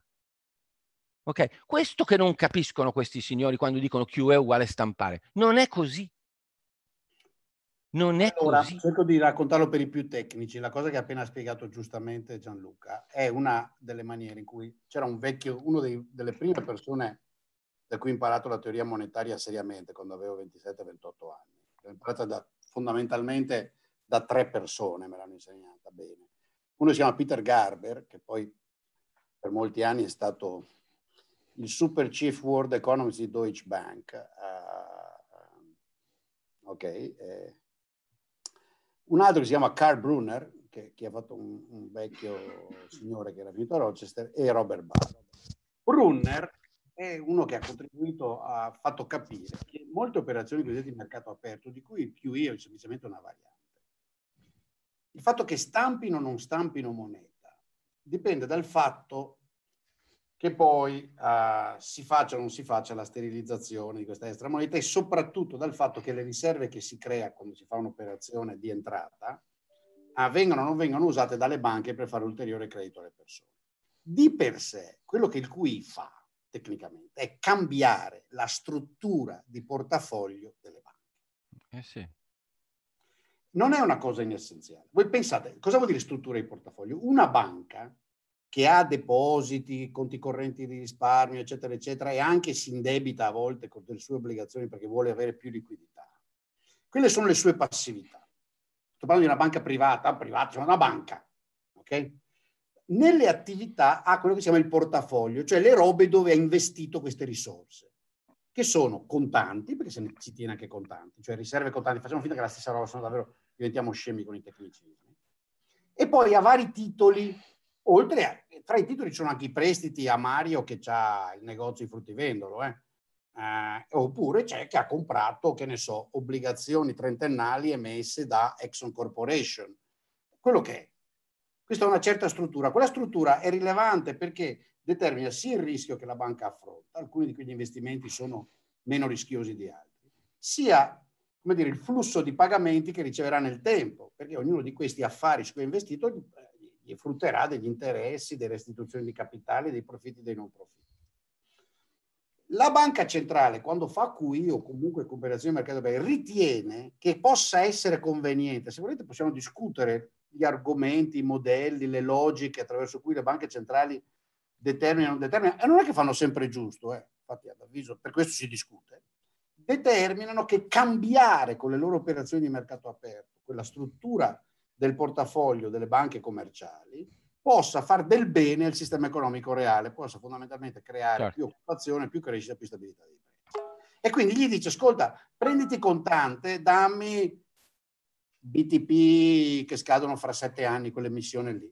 Oppure da, cioè, perché va sul mercato e sceglie la banca cosa comprare. Siccome tra l'altro lo fa anonimamente, non è che tu lo sai, tu Unicredit, tu uh, Societe Generale, quello che è, che quando c'è quello che ti vuole comprare delle robe che hai in portafoglio è la banca centrale. È uno che te le vuole comprare.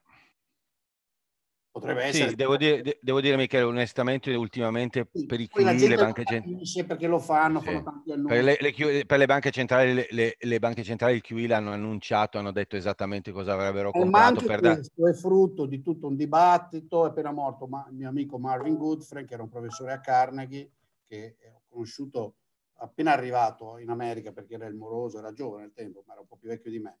Ed era il moroso mia compagna di classe al tempo, poi sono lasciati in porta e quindi ho conosciuto Marvin. Marvin è uno che ha contribuito tantissimo al dibattito degli anni 80 e 90 per convincere le banche centrali che invece di operare con segretezza, come avevano sempre fatto, sì, le operazioni per... qua, era meglio per l'economia, per i mercati, per, sì, per le aspettative, dirlo, no? Cioè...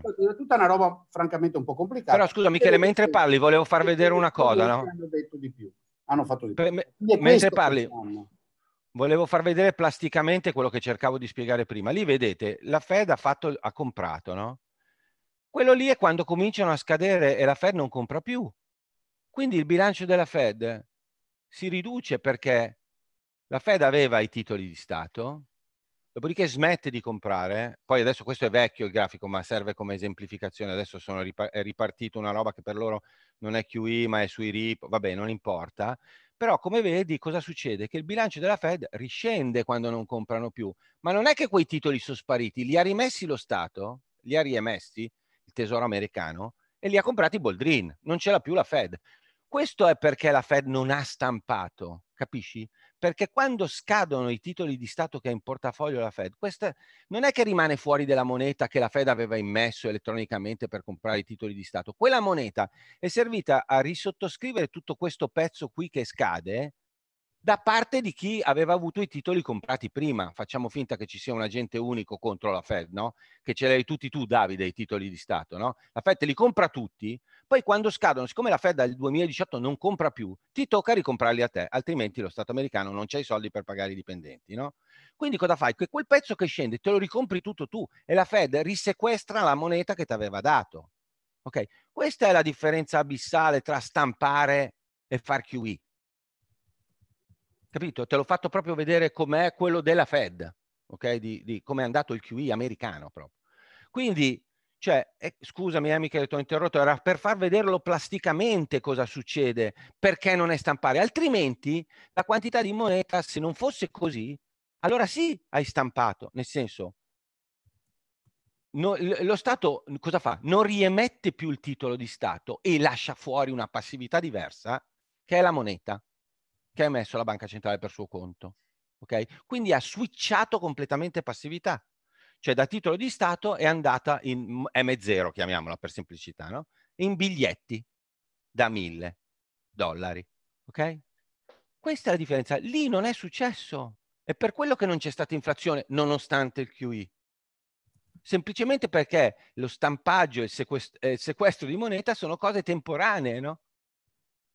Non modificano le aspettative di lungo termine, perché è come se facessi un cosiddetto pronti contro termine, lungo, magari, ma è un pronti termine.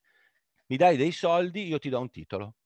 Ti, mi dai un titolo, ti do dei soldi. Ma poi non è finita lì. Scusa, Michele, ti ho interrotto. No, no, no, no, io volevo solo spiegare questa cosa a chi ci ascolta e anche alle persone che sono qui con noi. Andiamo avanti, andiamo avanti, perché a me va bene. È arrivata una nuova persona che non vediamo, non so chi sia, però non importa Fabio Calonacci. Sì. Fabio. Sì, poi dopo vedo che Ernesto, vedo che Ernesto che è lì che dice che poi la Fed ha questo privilegio di stampare dollari, eccetera, eccetera, che è la valuta di riserva internazionale. Sì, ha, ha importanza, ma neanche tanto, perché voglio dire, anche se loro... Vedete, possiamo tornare sulla Fed, sulle dollari. Proprio. Sì, sì, cioè, no, guardavo, su, guardavo su YouTube. Ha importanza questa menata della valuta di riserva, però mica tanto, nel senso che se la Fed non programmasse di risolversi il QE e finirlo e riemettere quei titoli da parte dello Stato, sequestrando la, la moneta dal settore privato che lei eh, la moneta che lei ha emesso nel settore privato quando ha fatto QE, se la Fed non lo facesse, anche se il dollaro è valuta di riserva, si prenderebbe una martellata. Boh, dipende, Perché... questo, questo, possiamo discutere, ma tanto è un caso unico che si deve a milioni di robe, fra cui soprattutto l'esercito, la forza militare, eccetera, eccetera, la valuta di riserva. Certo, certo, vabbè. Se volete ci andiamo. io parlavo, parlavo di un momento in cui non è che... Paraggi, per favore. Restiamo, ecco. su... Dai, restiamo lì. Fabio, vuoi dirci qualcosa? Sì. Eh, voi due, Davide e Emanuele? Ho seguito il link, scusate, eh, sono al lavoro e quindi non posso... Eh, va bene. Tutto. Semplicemente.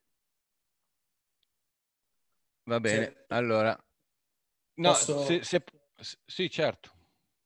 Perché però a me a quel punto sorge una domanda relativamente al quantitative easing.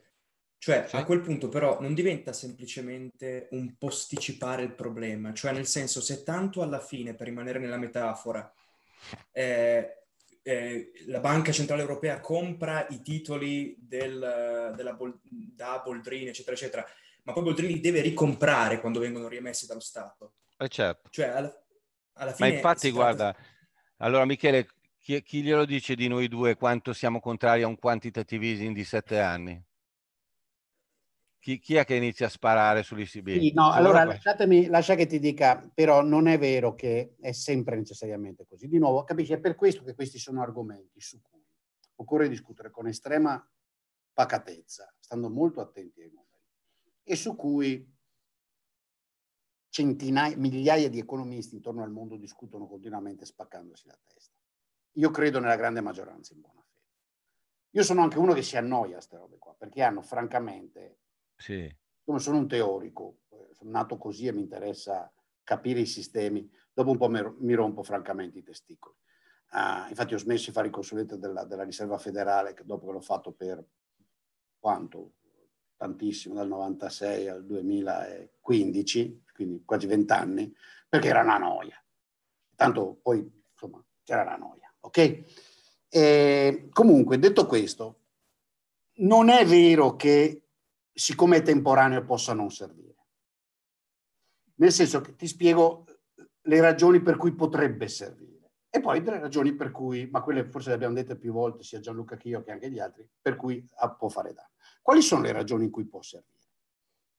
Beh, quella del 2008-2009 è una classica situazione in cui poteva servire. Quella dell'11, fine 10, 11 e 12 in Europa certo. è una situazione poteva servire. Perché? Certo. Perché cos'hai? Hai le banche che per ragioni, se volete le discutiamo, ma le sapete, no? quello che successe. Fondamentalmente nel caso americano, una enorme quantità di investimenti di real estate, di prestiti fatti per finanziarli, si scoprì che avevano costruito case a cazzo pensando di venderle a X, invece potevano venderle a X meno diviso 2, e quindi era, tutti questi investimenti che erano nel lato attivo di tante banche non valevano più una pipa. Quelle banche a quel punto non valevano più una pipa, erano senza capitale e quindi non potevano più prestare soldi neanche a chi avesse attività buone da fare. Quando le banche si paralizzano così, non hanno più capacità per ragioni di questo tipo di prestare soldi a chi ha attività buone da fare, l'economia si ferma. La super recessione che avvenne tra la fine del 2008 e la metà del 2009 fu causata da questo. Vi fu una paralisi vera, panico dell'intero sistema creditizio. Non prestava più soldi a nessuno, neanche a uno che fosse sì, quindi le aziende che avevano liquidità loro andavano, quelle super duper avevano il minimo e tantissime si trovarono ad andare in banca a dire ma come, ma cazzo, cioè mi fai, eh? E tu no, guarda, cioè, noi go, cioè non ce n'è, non riesco a rifinire, il mercato cosiddetto interbancario si era... Allora a quel punto cosa succede? Succede che Gianluca è la banca centrale, io sono, che so, Citibank io dico fondamentalmente, Gianluca mi guarda e dice Michele, ma hai investimenti buoni a fare, buone a fare? Sì, ma non li posso fare perché ho tutto, tutti gli asset che il mercato li valuta a metà di quello che io ce li ho sul libro. I conti correntisti mi stanno portando via i conti correnti, nessuno mi presta liquidità e io non posso prestare a nessuno perché ho poco capitale e non ho liquidità. Allora lui dice, ascolta, secondo me tre quarti di quegli asset che gli hai sono temporaneamente a 50 invece che 100 perché sono buoni investimenti, te li compro io non te li compro né a 100 né a 50, te li compro a 70, adesso ragazzi, cioè, faccio numeri, eh, e ti do liquidità. Siccome di me si fidano, dei miei Marines si fidano di, del fatto che noi siamo solidi, c'è lo Stato americano dietro, si fidano, tu hai dollari a quel punto, presta a quelli e non sei più fallito. Questo fu, ok, lo fecero e nonostante questo ci fu il, il, il Lambaradan che ci fu, eh, però la Fed su questo eravamo tutti d'accordo, a quel tempo ero ancora che mi riunivo, uh, che andava fatto, forse andava fatto meglio, adesso lasciamo stare le discussioni. Lo stesso avvenne a causa della crisi greca nel caso uh, europeo. Allora, l'intervento temporaneo ovviamente serve perché eviti il crollo, capisci? Le cose stanno in piedi, le aziende non chiudono.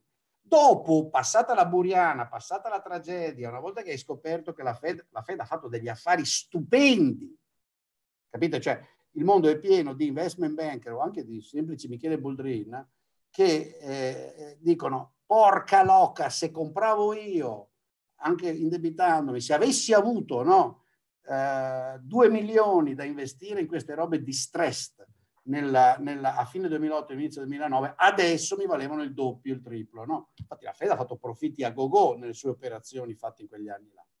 D'accordo? Perché ha comprato che so a 70, adesso vende tranquillamente a 100, tutti questi investimenti sono andati alla fine bene, hanno recuperato, eccetera. Lo stesso anche abbastanza per la Banca Centrale Europea, anche se meno, anche se meno, anche se meno perché la, l'economia europea è a macchia di leopardo, alcune cose sono riprese, altre no. Capisci? Quindi l'intervento temporaneo in situazioni di tensione, per carità, cioè, cioè, credo che chiunque che capisca un minimo di economia monetaria e bancaria lo dice subito, assolutamente. Ora, la vera distinzione lì dove passa, e mi fermo con questa osservazione, passa fra dare liquidità dove c'è una situazione di illiquidità, ma non darla dove c'è insolvenza. Quindi è inutile che una banca fallita per davvero, perché davvero gli investimenti sono tutti a pancia all'aria, tu gli dai i soldini e ti prendi gli investimenti uh, che fanno schifo, perché in questa maniera stai tassando i, i, i, i cittadini. Okay? Dai soldi buoni in cambio di, di titoli cattivi. Il primo punto è lì diventa c'è tutta una letteratura che comincia da Baghe dall'Inghilterra dell'Ottocento a discutere come diavolo fai a separare l'uno dall'altro e non è una roba facile. E l'altra sì, però... qual è? L'altra è continuare a farlo all'infinito anche quando la situazione di drammaticità è passata perché pensi che continuando a liquidità questi qua presteranno a chissà che investimenti che non ci sono. È quello che è successo che in mente Gianluca negli ultimi anni. Tu hai continuato a fare quantitative easing, quantitative easing dicendo dammi i titoli, io ti do liquidità, ma loro non prestavano a nessuno. Perché non prestavano a nessuno? Perché non c'era nessuno che meritasse di prestare, perché c'era un problema di economia reale, di produttività, di investimento che le banche non possono risolvere. Ho finito. Allora cerco di dirvi una cosa che, perché questa è la cosa che forse ho studiato meglio di tutte nella vita. Allora, la differenza di reazione, della funzione di reazione dipende tantissimo dal quadro legislativo. Eh, negli Stati Uniti eh, Tesoro, Fed e Federal, Deposit Insurance Corp- eh, FDIC hanno dei poteri sulle banche che in Europa quando esplode la crisi nel 2011 non sono così codificati nella stessa maniera anche perché se voi mh, ci pensate l'euro è un sistema dove sopravvivono le banche centrali nazionali, l'ECB può fare alcune cose, le può fare su delle banche sopra certe soglie, non sotto delle altre, tutta la regulation evoluta dal 2011 in poi proprio per la crisi, anche tutte le istituzioni tipo ISM, F, IFSF, Single Resolution Board, eccetera, eccetera, sono stati creati dopo in Europa. No?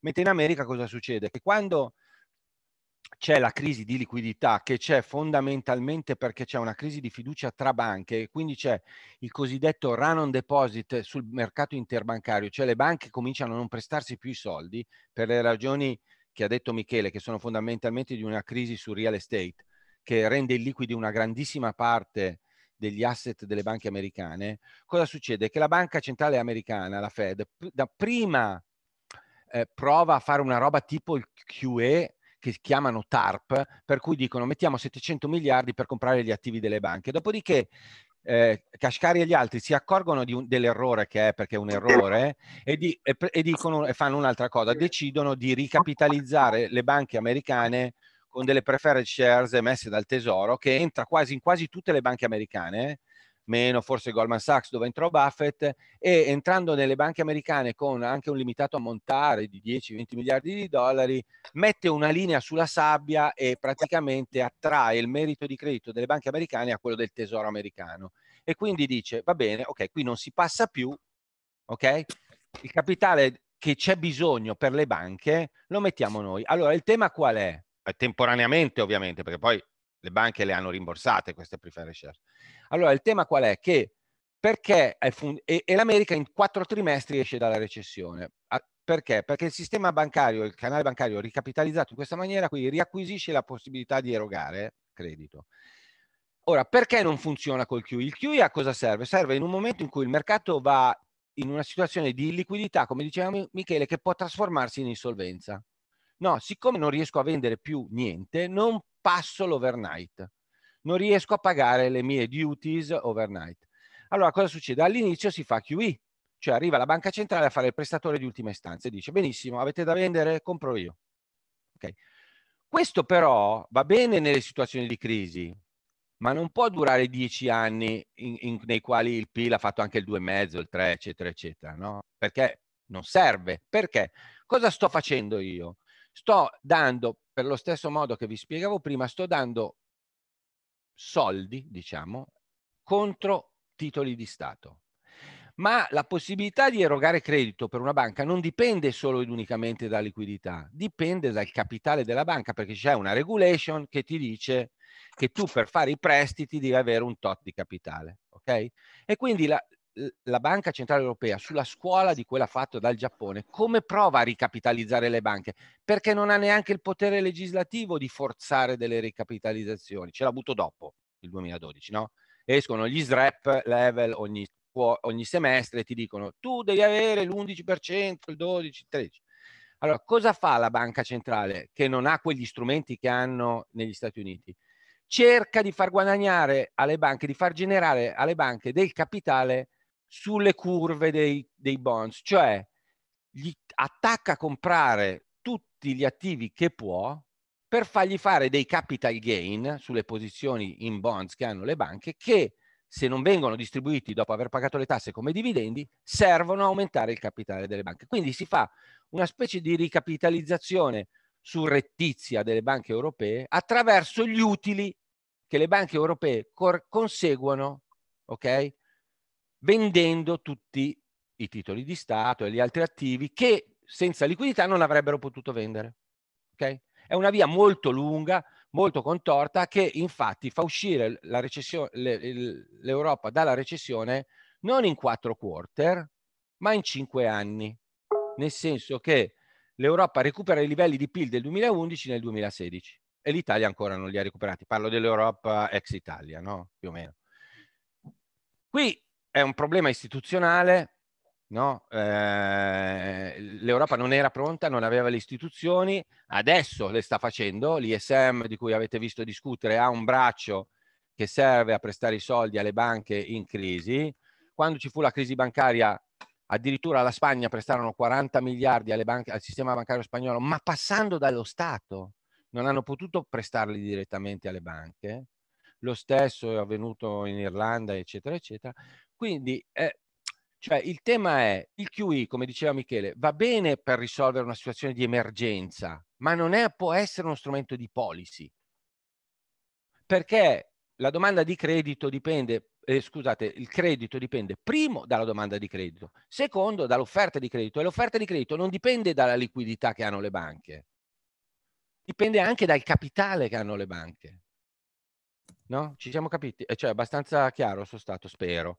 Quindi per quello no, gli americani dopo aver fatto il TARP, cioè il QE loro per 12 secondi, cosa fanno? Ricapitalizzano le banche. Poi dopo hanno cominciato a, allo stesso a comprare, a fare QE no, sui titoli di Stato, ma più per, una, per agire su altri canali, il Forex, i tassi, eccetera, eccetera. No? Ma le banche li ricapitalizzano subito perché la liquidità e le riserve bancarie sono molto lontane nella piramide del credito da quello che serve a erogare, capita- a erogare credito. Ok? Cioè non basta che io ho il cash per erogare credito. C'è una regulation che mi dice che devo avere il 10% di capitale sui risk weighted asset. Se non ce l'ho, posso avere tutti gli asset più liquidi del mondo, non posso fare i prestiti. Ok? Se non ho quel 10% di capitale, non posso fare i prestiti, anche se ho tutto cash dall'altra parte, non lo posso fare. Ok? Uh, io prenderei, sono arrivate anche delle altre persone, uh, proviamo a lasciare la parola anche agli altri.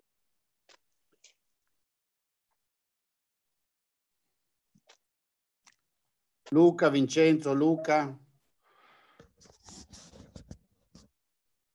Sì, buonasera, mi sentite? Sono... Mi sentite? Sì. Sono di Bartolo. E... No, mi chiedevo, sono arrivato da poco, quindi non so se ne avete già parlato, ma ehm, avete pensato che queste persone comunque che sostengono modern monetary theory, eccetera, potrebbero tranquillamente essere comp- completamente consci della insensatezza anche delle loro teorie e farlo per vendere, perché il complottismo in sostanza noi sappiamo che vende ah. sempre di più della, della semplice verità. O almeno... Eh. Osti, sei andato via Luca, ma sei andato via, però abbiamo capito, eh, può essere, guarda. C'è una componente di questo tipo all'interno sì, può darsi. Della guarda, può, può darsi, però può darsi. Di seguire queste cose. Sì, non una buona linea. Comunque, sì, no, no, può dar- quello che volevo dire. Può darsi. Però Michele, scusami, io ti leggo una cosa, adesso tu me la commenti, no? Leggo una cosa dell'articolo di critica nei miei cerchiamo conf- di razionalizzare una cosa che razionale non è. No, no, abbiamo capito Luca. Adesso io chiedo a Michele, Michele giudica tu, eh, vi leggo un pezzo dell'articolo che critica il mio articolo, no? Che dice eh, che il mio articolo spiega la MMT come una teoria unicamente monetaria. E, e, I'm sorry, ma lo è. Cioè, nel senso... e, e dice che io sono associato al tipico eh, problema eh, te, teoria, te, teoria mainstream, eccetera, eccetera, una serie di, di parole inutili, francamente. E, e, a un certo punto dice, Michele, scusami, dammi retta un secondo perché ho bisogno ah, di sostegno. Ascoltando. Dice, dice che l'idea che la banca centrale sia in grado di determinare e controllare direttamente o indirettamente l'offerta di moneta rappresenta uno di quei mostri concettuali della teoria economica mainstream che tutta una serie di evidenze empiriche di autori legati a quella che si definisce come teoria della moneta endogena hanno da tempo rigettato e smentito, così come ha sin dall'inizio fatto la MMT. Per approfondimenti si veda Minsky, Caldor, Murful, Wheeler, Ray, eccetera, eccetera. Così come sono state da sempre rigettate le idee che la quantità o d'offerta di moneta in circolazione sia perfettamente proporzionale al flusso di spesa totale o al livello totale della spesa domande in un'economia, in aggiunta all'idea parimenti rigettata secondo la quale l'inflazione è sempre comunque un fenomeno monetario, legato cioè alla stampa di moneta o quantità di moneta in circolazione, qualsiasi cosa esso voglia dire. Ma tu hai capito che cazzo ha detto qua questo qua? Perché io non ho capito. Cioè, Guarda, scusa, mi dice... È insensato, lasciamo stare. Li abbiamo invitati a spiegarsi, l'errore l'hanno fatto e lo dico pubblicamente, l'hanno fatto in buona fede. Eh, I giornalisti che pubblicano sui giornali italiani, ma ormai non sono gli unici, anzi i ragazzi che fanno Econopoli sono delle brave persone, ci provano, cercano di creare dibattito, dovrebbero imparare a, a, separare le cose prive di senso dalle cose che hanno minimo di senso. Ma scusa Michele, scusami. Questo... Sono tutte cazzate, dai, non torniamoci più, sono cazzate. No, ma no, ma scusi, siccome, siccome no, no, ma c'era un, un, buono, un, de, un, buono. Un, de, no. un dente però lo, logico te lo devi levare. Cioè, ma va, cosa vuoi levare? Centrale... Se, facciamo attenzione alla gente che c'è qua. La, la, la, la gente che, che, dice cose incoerenti dice cose incoerenti. Sono ignoranti e non lo sanno. Fine. Cioè, è inutile discutere con la montagna di merda. Ci ho, ci ho provato io. Eh, Dicono di cose serie. Davide. Faccio un'ultima domanda, poi purtroppo vi devo lasciare. Uh, so già che farò mettere le mani nei capelli a Gianluca. Volevo chiedere, come ultima cosa, uh, sempre parlando di politiche monetarie non convenzionali, uh, un commento sul, um, sul, paper che è uscito quest'estate a firma di Fisher di BlackRock sul, sull'helicopter money, l'aumento eh, certo. monetaria e quant'altro. Grazie. Gesù. Guarda, io ti dico una cosa, scusami, in Giappone eh, forse sono stati i primi. Quanti anni è che va avanti, Michele? 30, più di 30 anni, no? Sta roba qua. Del QE, compro le azioni, compro mia zia, compro... È successo qualcosa? Niente. Zombificato tutto. Cioè, il problema, io, io sono, a me piace tanto no, questa cosa della moneta, ma è come dice Michele, dopo un po' ti rompi i coglioni perché tanto cioè, è, è neutrale, capi- puoi fare dei danni, ecco, ok? Puoi comprare del tempo se la usi bene, la politica monetaria, ma non cambia l'economia reale. Cioè l'economia reale cambia per tutta un'altra serie di cose, il design istituzionale, eh, cambia per una serie di altre cose no? il fatto che ci siano degli imprenditori, non ci siano, che ci sia uno Stato efficiente, che non ci sia. Cioè, cambia per tutte delle altre ragioni l'economia reale. No, con la moneta puoi fare accompagnare questa cosa oppure eh, non accompagnarla e fare dei danni, ma non è che la fai andare così con la moneta. E questo, il, secondo me, è il problema logico dell'MMT, no? Cioè che loro riducono tutto la leva dalla policy a quello. Poi ti dicono che c'è il sistema dei contratti, tutta una serie di cose. Vabbè, ho capito, ce l'hanno tutti il sistema dei contratti, no? Cioè, non è che viviamo col quello che estrae la pistola per primo. Però, eh, non so, io non so Michele eh, se, se, ti viene in mente qualcosa, però a me, a me pare che cioè, que, que, tutta questa, questa enfasi sulla moneta, il potere che ha la moneta di cambiare le cose, è veramente mal posta. Veramente è uno specchio per le allodole per non fare altre cose che andrebbero fatte. Cioè, è colpa della moneta se i processi in Italia durano sette anni. Cioè, ma non c'è abbastanza moneta. So.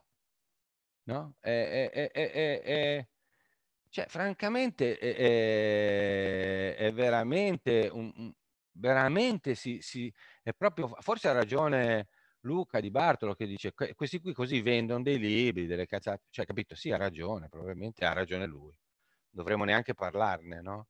Il problema è che purtroppo levano risorse alla discussione che servirebbe del fatto del perché l'Italia ha sofferto in questo periodo così tanto rispetto ad altri paesi europei, no? È il paese peggiore che c'è in Europa per andamento dei salari reali, PIL, eccetera. Questo bisognerebbe discutere, no? Quale, perché? No? E non lo so. Uh, sì, la moneta è neutrale nel lungo e, e, e fa aggiustamenti di breve, sì, eh, ho capito, eh, però appunto, aggiustamenti, impedisce di fare andare le cose eh, in maniera disastrosa o le può far andare in maniera disastrosa se, se sbagli a calibrare la moneta di policy. Ma non è che cambia le tendenze di lungo periodo. Michele insegna teoria della crescita, non credo che stia a spendere lezioni su lezioni sulla moneta, no? Michele, spendi ore, lezioni su lezioni sulla teoria della moneta tu quando insegni? Microfono. Eh, certo, quando insegno teoria della moneta passo e insegno quello che fa la moneta, poi con la teoria della crescita non la spiego. Ma vorrei evitare di andare lì, avevamo promesso di discutere di queste cose, io vorrei continuare a rimanere sulla cosa, poi fra un po' finiamo, anche perché è un'ora e venti che siamo qua. Però eh, non ci sono magari, se non ci sono domande da quelli che sono qua con noi, domande da altri. Stavo guardando su YouTube Volete... Prego. Prova, siccome per... Prova a lanciare magari forse una provocazione, cioè eh, si è parlato chiaramente dei rischi no? di queste teorie. E uno dei rischi principali, che è anche uno di quelli che anche chi come me ne sa poco o niente, eh, risulta più, più, lampante, quello del, dell'inflazione, no? i fenomeni inflattivi. E, però poi appunto chi come me purtroppo, ripeto, si forma un po' superficialmente perché mancanza di tempo, eccetera, eccetera, legge che in realtà in questo momento storico preciso c'è qualche discussione intorno al tema dell'inflazione perché, per esempio, in Europa, eccetera, eccetera, eh, non si riesce più a raggiungere quel 2% che veniva individuato no? una volta come un tasso abbastanza, diciamo, adesso voglio dire ideale, però comunque diciamo standard e, e, e che si fa fatica proprio a far crescere l'inflazione, no? Eh, e quindi uno che mette insieme, fa uno più uno in maniera ovviamente semplicistica, potrebbe dire, beh, però se a questo punto ci farebbe quasi comodo un po' più di inflazione, magari anche solo parzialmente andare nella direzione di più spesa, più eccetera, eccetera, non è che alla fin fine non sarebbe così negativo, cioè non è che alla fin fine è un paradigma vecchio quello per cui si crea, paradigma vecchio alla luce in realtà di quello che vediamo oggi, non di chissà quali basi scientifiche, eh, quello per cui appunto eh, aumentano, cioè eh, si svalutano, eh, insomma avviene il fenomeno dell'inflazione. Michele, vai tu o va? Eh, no, io devo chiedere scusa perché mi è arrivato un messaggio urgente. Ah, guarda, provo, a risponderti, no, prova, vuoi... pro, prova a risponderti, Emanuele. Il problema dell'inflazione o del, è, è, il famoso problema che a me piace definire del QB, no? L'inflazione come il sale, quanto basta? Cioè, il, il, il, problema di quella roba lì, allora, a parte il fatto che, scusami, storicamente qua Michele mi può dare una mano, noi abbiamo vissuto periodi di grande crescita con deflazione e periodi di scarsissima crescita, crescita con inflazione. Quindi, cioè, anche questa cosa di dire, ah, siccome c'è inflazione, allora c'è crescita, I'm sorry, ma non è che proprio funziona così. Cioè, inverte tante volte la, la, il rapporto di causa-effetto, no? Cioè, non è che per forza un fenomeno, diciamo, di inflattivo sia specchio del fatto che la crescita reale ci sia. Allora, questa ossessione dell'ICB col target al 2%, francamente a me fa un po' ridere, nel senso, cioè, scusami, se il PIL crescesse in maniera reale del 4, ma l'inflazione fosse zero, cioè è un problema? Mi domando io. Facciamola all'incontrario, no? Frazione zero, il PIL fa il 4 reale, come è stato durante, per esempio, i periodi della seconda rivoluzione industriale o in periodi di guadagni di produttività. Per cui l'inflazione naturalmente va, va quando guadagni tanta produttività eh, sta giù, no?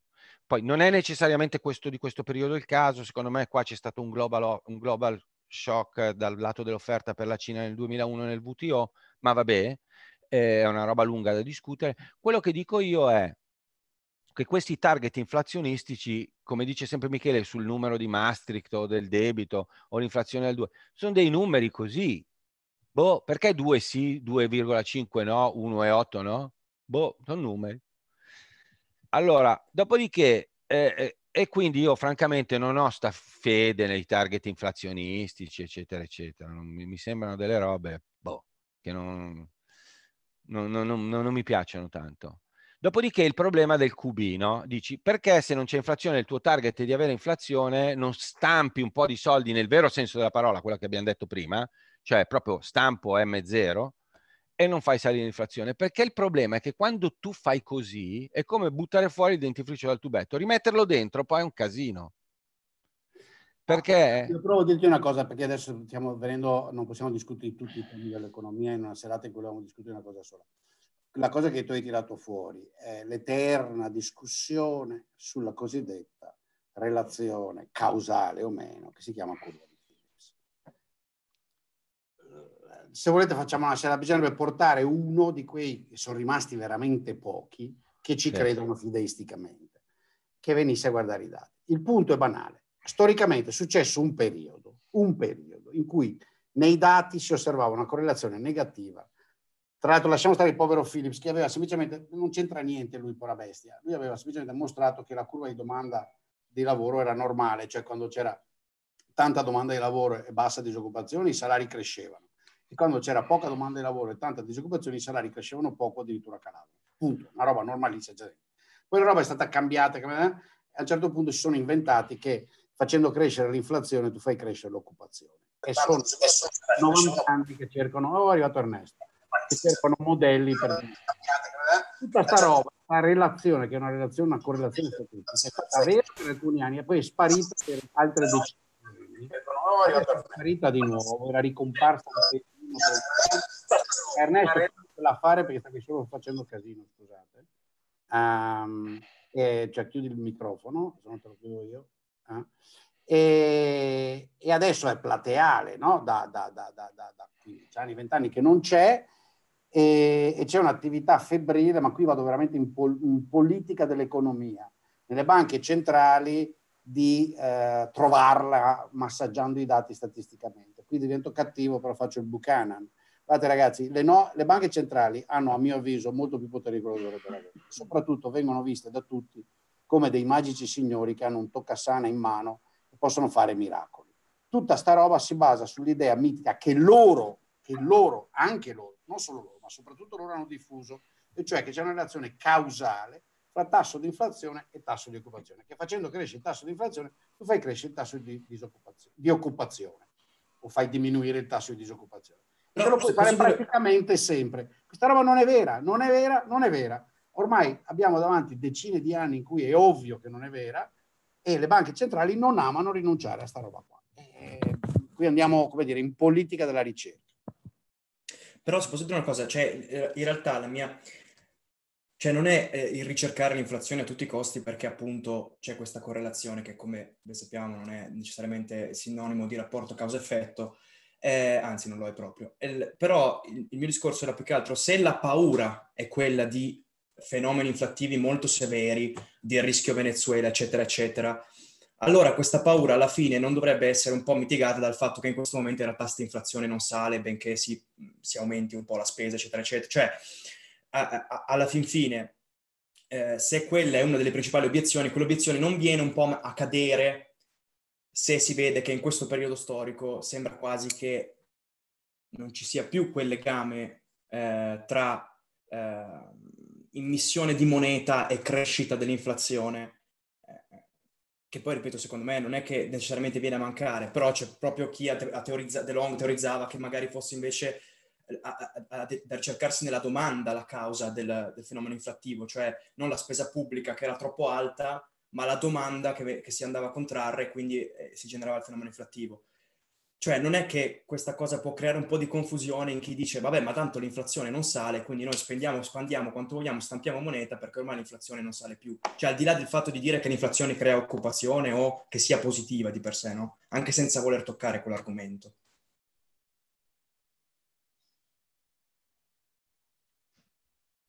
non so neanche come risponderti.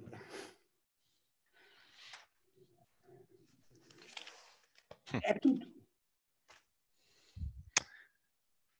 Sai. Friedman.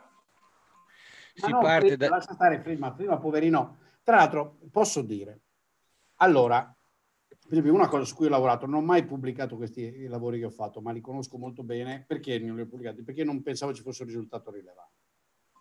Allora, è plateale che per un periodo di tempo, e solo in alcuni paesi, in particolare Stati Uniti e c'è stata una mh, curva di, cosiddetta di domanda della moneta M0 e M2, M2 scusa, piuttosto stabile. Un, sono contributi di Frima, appunto Lucas e altri su questo.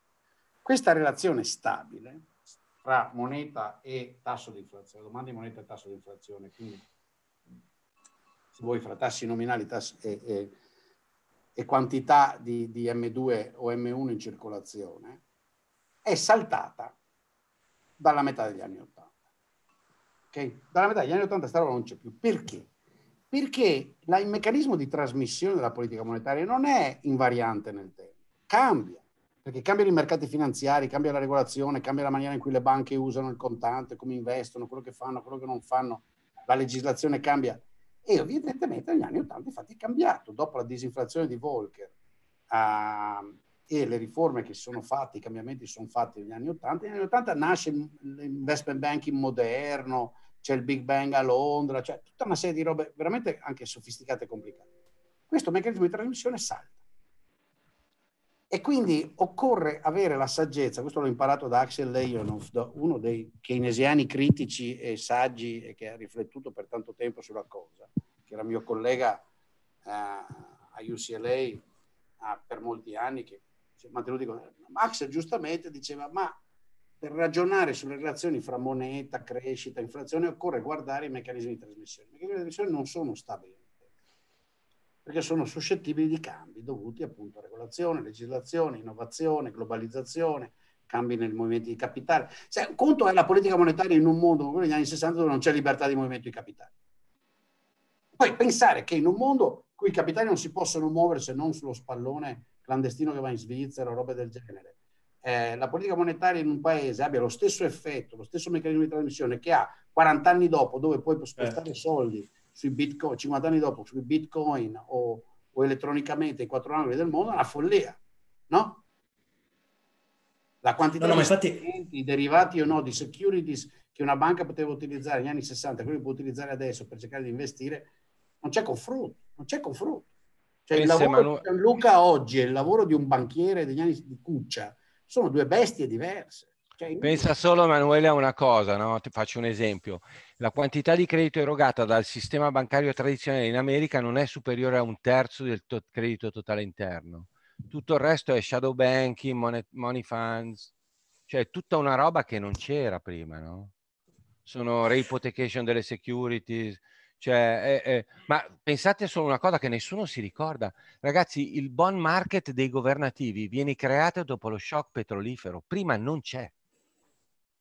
Cioè, non ci, sono, non ci sono i titoli di Stato prima dello shock petrolifero. Non esistono. Capito? No, ma infatti è questo. È un po' esagerato questo... adesso lui, però. No, no ma più però... o meno, però Michele, sì, più sì, o meno. Però il mercato del debito pubblico nasce, ma non solo per lo shock, nasce per le evoluzioni finanziarie, anche per la crescita della quantità di debito nel mondo, sì. i paesi a seconda metà degli anni 70 cominciano a indebitarsi seriamente e quindi si crea un mercato di opportunità di comprare e vendere debito pubblico per certi strumenti, per fare certe cose. Ma pensa, il mercato dell'euro-dollaro, il mercato dell'euro-dollaro nasce di nuovo in quel periodo per sfuggire alle regolazioni bancarie americane. Adesso ovviamente non ha più senso, perché quelle regolazioni non ci sono più, capisci? Quindi adesso Ma questo è un po' molto lontano, ragazzi. Adesso no, però se posso, dire, se posso dire un una cosa solo, poi mi, mi taccio. È, è, è, però è proprio il motivo per cui io apprezzo il lavoro che fate, cioè nel senso che chi come me si avvicina da fuori, non avendo frequentato, eh, non avendo fatto questo tipo di studi, tende a fare quell'uno più uno, no? E quindi a dire perché non spende di più senza... Chi ha eh, le conoscenze è, è la cosa ideale proprio quando fa questo, cioè viene e dice l'equazione è più complicata di così, cioè c'è qualcos'altro da considerare. I meccanismi di trasmissione, eccetera, eccetera, il discorso eh, dei bond e di tutti i meccanismi finanziari che non esistevano e che oggi esistono, che effettivamente mi fa capire come eh, il discorso sia molto più complesso e quindi non si possa ridurre a quel a quella semplice ragionamento, è però proprio quello che andrebbe, secondo me, spiegato al grande pubblico da far capire il perché questi signori sono dei venditori di fumo, no? Sono dei, dei, veramente dei pagliacci, cioè per quelli della, della, di cose come la, la, MMT. Cioè perché non si può arrivare a quel livello di semplificazione senza eh, commettere degli errori aberranti. Cioè bisogna sempre considerare eh, tutte le componenti, varie componenti. Solo che chi, chi, ripeto, si avvicina da fuori, chi ha l'interesse ma non ha probabilmente le competenze, tende a dire, ma scusa, ma se io metto questo qua, metto questo di qua e di là, no, siamo, sai, in Italia siamo tutti commissari della nazione, siamo tutti bravi a far tutto. E, e, e, quindi io questo vi dico, cioè vi lascio anche proprio per le prossime volte, no? Cioè a me piacerebbe, piace quando c'è questo, cioè quando c'è quel dire guardate che le cose sono più complicate e guardate che bisogna tenere in considerazione tutti questi vari aspetti che per esempio eh, eh, c'hai ragione, ci io vi ringrazio prova. di questo. C'hai ragione, ci si prova, con più o meno dei successi, a volte meno, a volte di più, è che è dura, capisci? Perché quella è la teoria della montagna di, di cacca che, cioè, che diceva Michele prima, sai, tu sei colpito, lì c'è un problema che Rick Dufer ha individuato perfettamente, cioè per tanti anni internet eh, è stata ignorata dall'accademia e da tutti, gli, tutti e quindi questi qui hanno preso un vantaggio che c'è Basta, adesso fare... però stiamo veramente parlando di sociologia. C'è Ernesto, Ernesto, di qualcosa e poi salutiamo tutti. Abbiamo... C'era, un signore, c'era un signore che stava facendo una domanda, aspetta Michele. Okay. Creare un nuovo di contratto di lavoro, un apprendistato al contrario per quanto concerne le tasse sul lavoro con un'impostazione a scaglioni temporali simili al Job Act. Succo, più tengo il lavoratore occupato stabilmente, più provo allo Stato di pagarne i contributi meno nel lungo periodo, cioè insomma si, si cerca di fare un, un, le occupazioni con contributi a scalare, se capisco bene. Non so, non esiste un trucco per cui tu fai le robe e non le paghi, cioè questo è il tema. Nel senso che soprattutto dove hai sistemi a ripartizione è un po' dura.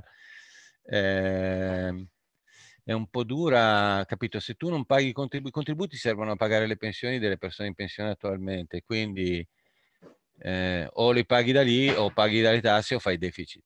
Cioè non è che ci sono molte altre vie. Eh, e quindi non saprei dirti. Cioè il tema vero è sempre la crescita del PIL e che cosa la determina, che è quello che Michele insegna brillantemente. Quindi non Mamma mia, dici... anche i complimenti in pubblico. Eh no, ma è vero. Per, e quindi stanco, sono, le... ragazzi, sono le due di mattina qua, in quella del paese di centro. Io baci e abbracci, credo che abbiamo dato, ringrazio Emanuele, Ernesto e Luca. Ernesto, però di qualcosa. Su, no, io vi saluto, io vi ho ascoltato eh, con interesse, con interesse. Secondo me l'avete fatta un po' troppo complicata perché Cioè, chi ci ascolta deve capire solamente che l'MMT si basa su un, su un fraintendimento, ovvero pensano di poter stampare valore. E il eh valore purtroppo eh, non si può stampare, si può Bravo. stampare il veicolo che trasporta il valore, ma non il valore. E, e al fronte del valore deve esserci valore. Guarda, Esattamente. Me... E la truffa dell'MMT è tutta qui. Pensano, sono con... e sono convinti che stampando i veicoli si possa stimolare la creazione di valore, ma perché non l'hanno fatto prima allora? Sono convinti che stampando soldi si possano trovare investimenti produttivi e non è detto. L'unica cosa certa è che stampando soldi si crea una svalutazione di salari reali, svalutazione delle tasse, delle entrate dello Stato, si creano dei danni certi a fronte di benefici incerti. L'MMT è una, proprio una buffonata totale perché vive su questo fraintendimento. Tutto qua. Va bene, con questa chiosa che direi no, guarda, che... Adesso lui però mi ha stimolato perché, la ripeto, e per chi ci ascolta ed è interessato ci rifletta, perché questo era uscito, è una cosa talmente banale che io nella prima discussione con Conditi e poi anche con Galloni. Eh, ma poro Conditi, ma esatto, cioè... Non l'ho neanche detto, non l'ho neanche detto, ma lo dico qua per l'ennesima volta. E poi l'avrei fatto osservare a Mosler, l'ho detto anche prima quando ho spiegato la differenza fra l'emissione di moneta, come si fa, a mio avviso correttamente, come vorrebbero farla nella loro follia, i cosiddetti MMT versione italiana. E cioè che loro pensano che la moneta sia un'attività dello Stato, infatti il Conditi la voleva vendere così, e pensano di creare un'attività senza metterci a fronte una passività. È impossibile. È perché sai, se posso creare attività da attività, perché la sua idea era creo moneta perché dietro ci sono le tasse, entrambe sono due attività. Se nella attività attività violi un principio banale, hai creato il, il moto perpetuo, è una tale stronzata illogica cioè, davvero fa ridere, cioè viola la partita doppia, non serve essere dei grandi economisti, santa madonna, viola la partita doppia, dopodiché invocano misteriosi condizioni dello Stato, la rava, la fava e paperoga, perché non sanno cosa dire. Infatti non sanno cosa dire. E io infatti continuo a invitarli e dico, venite a discutere, discutiamo così, tranquilli. Ma infatti sarebbe anche carino, perché mi, magari mi apre la testa su delle cose e che non vedo. Magari scopriamo un miracolo che per duemila anni nessuno, milioni di persone non hanno capito. Invece no, fanno battute, insomma, vabbè, quella roba lì. Vi voglio tanto bene a tutti. Ciao. Grazie mille. Ciao, ciao, ciao a tutti.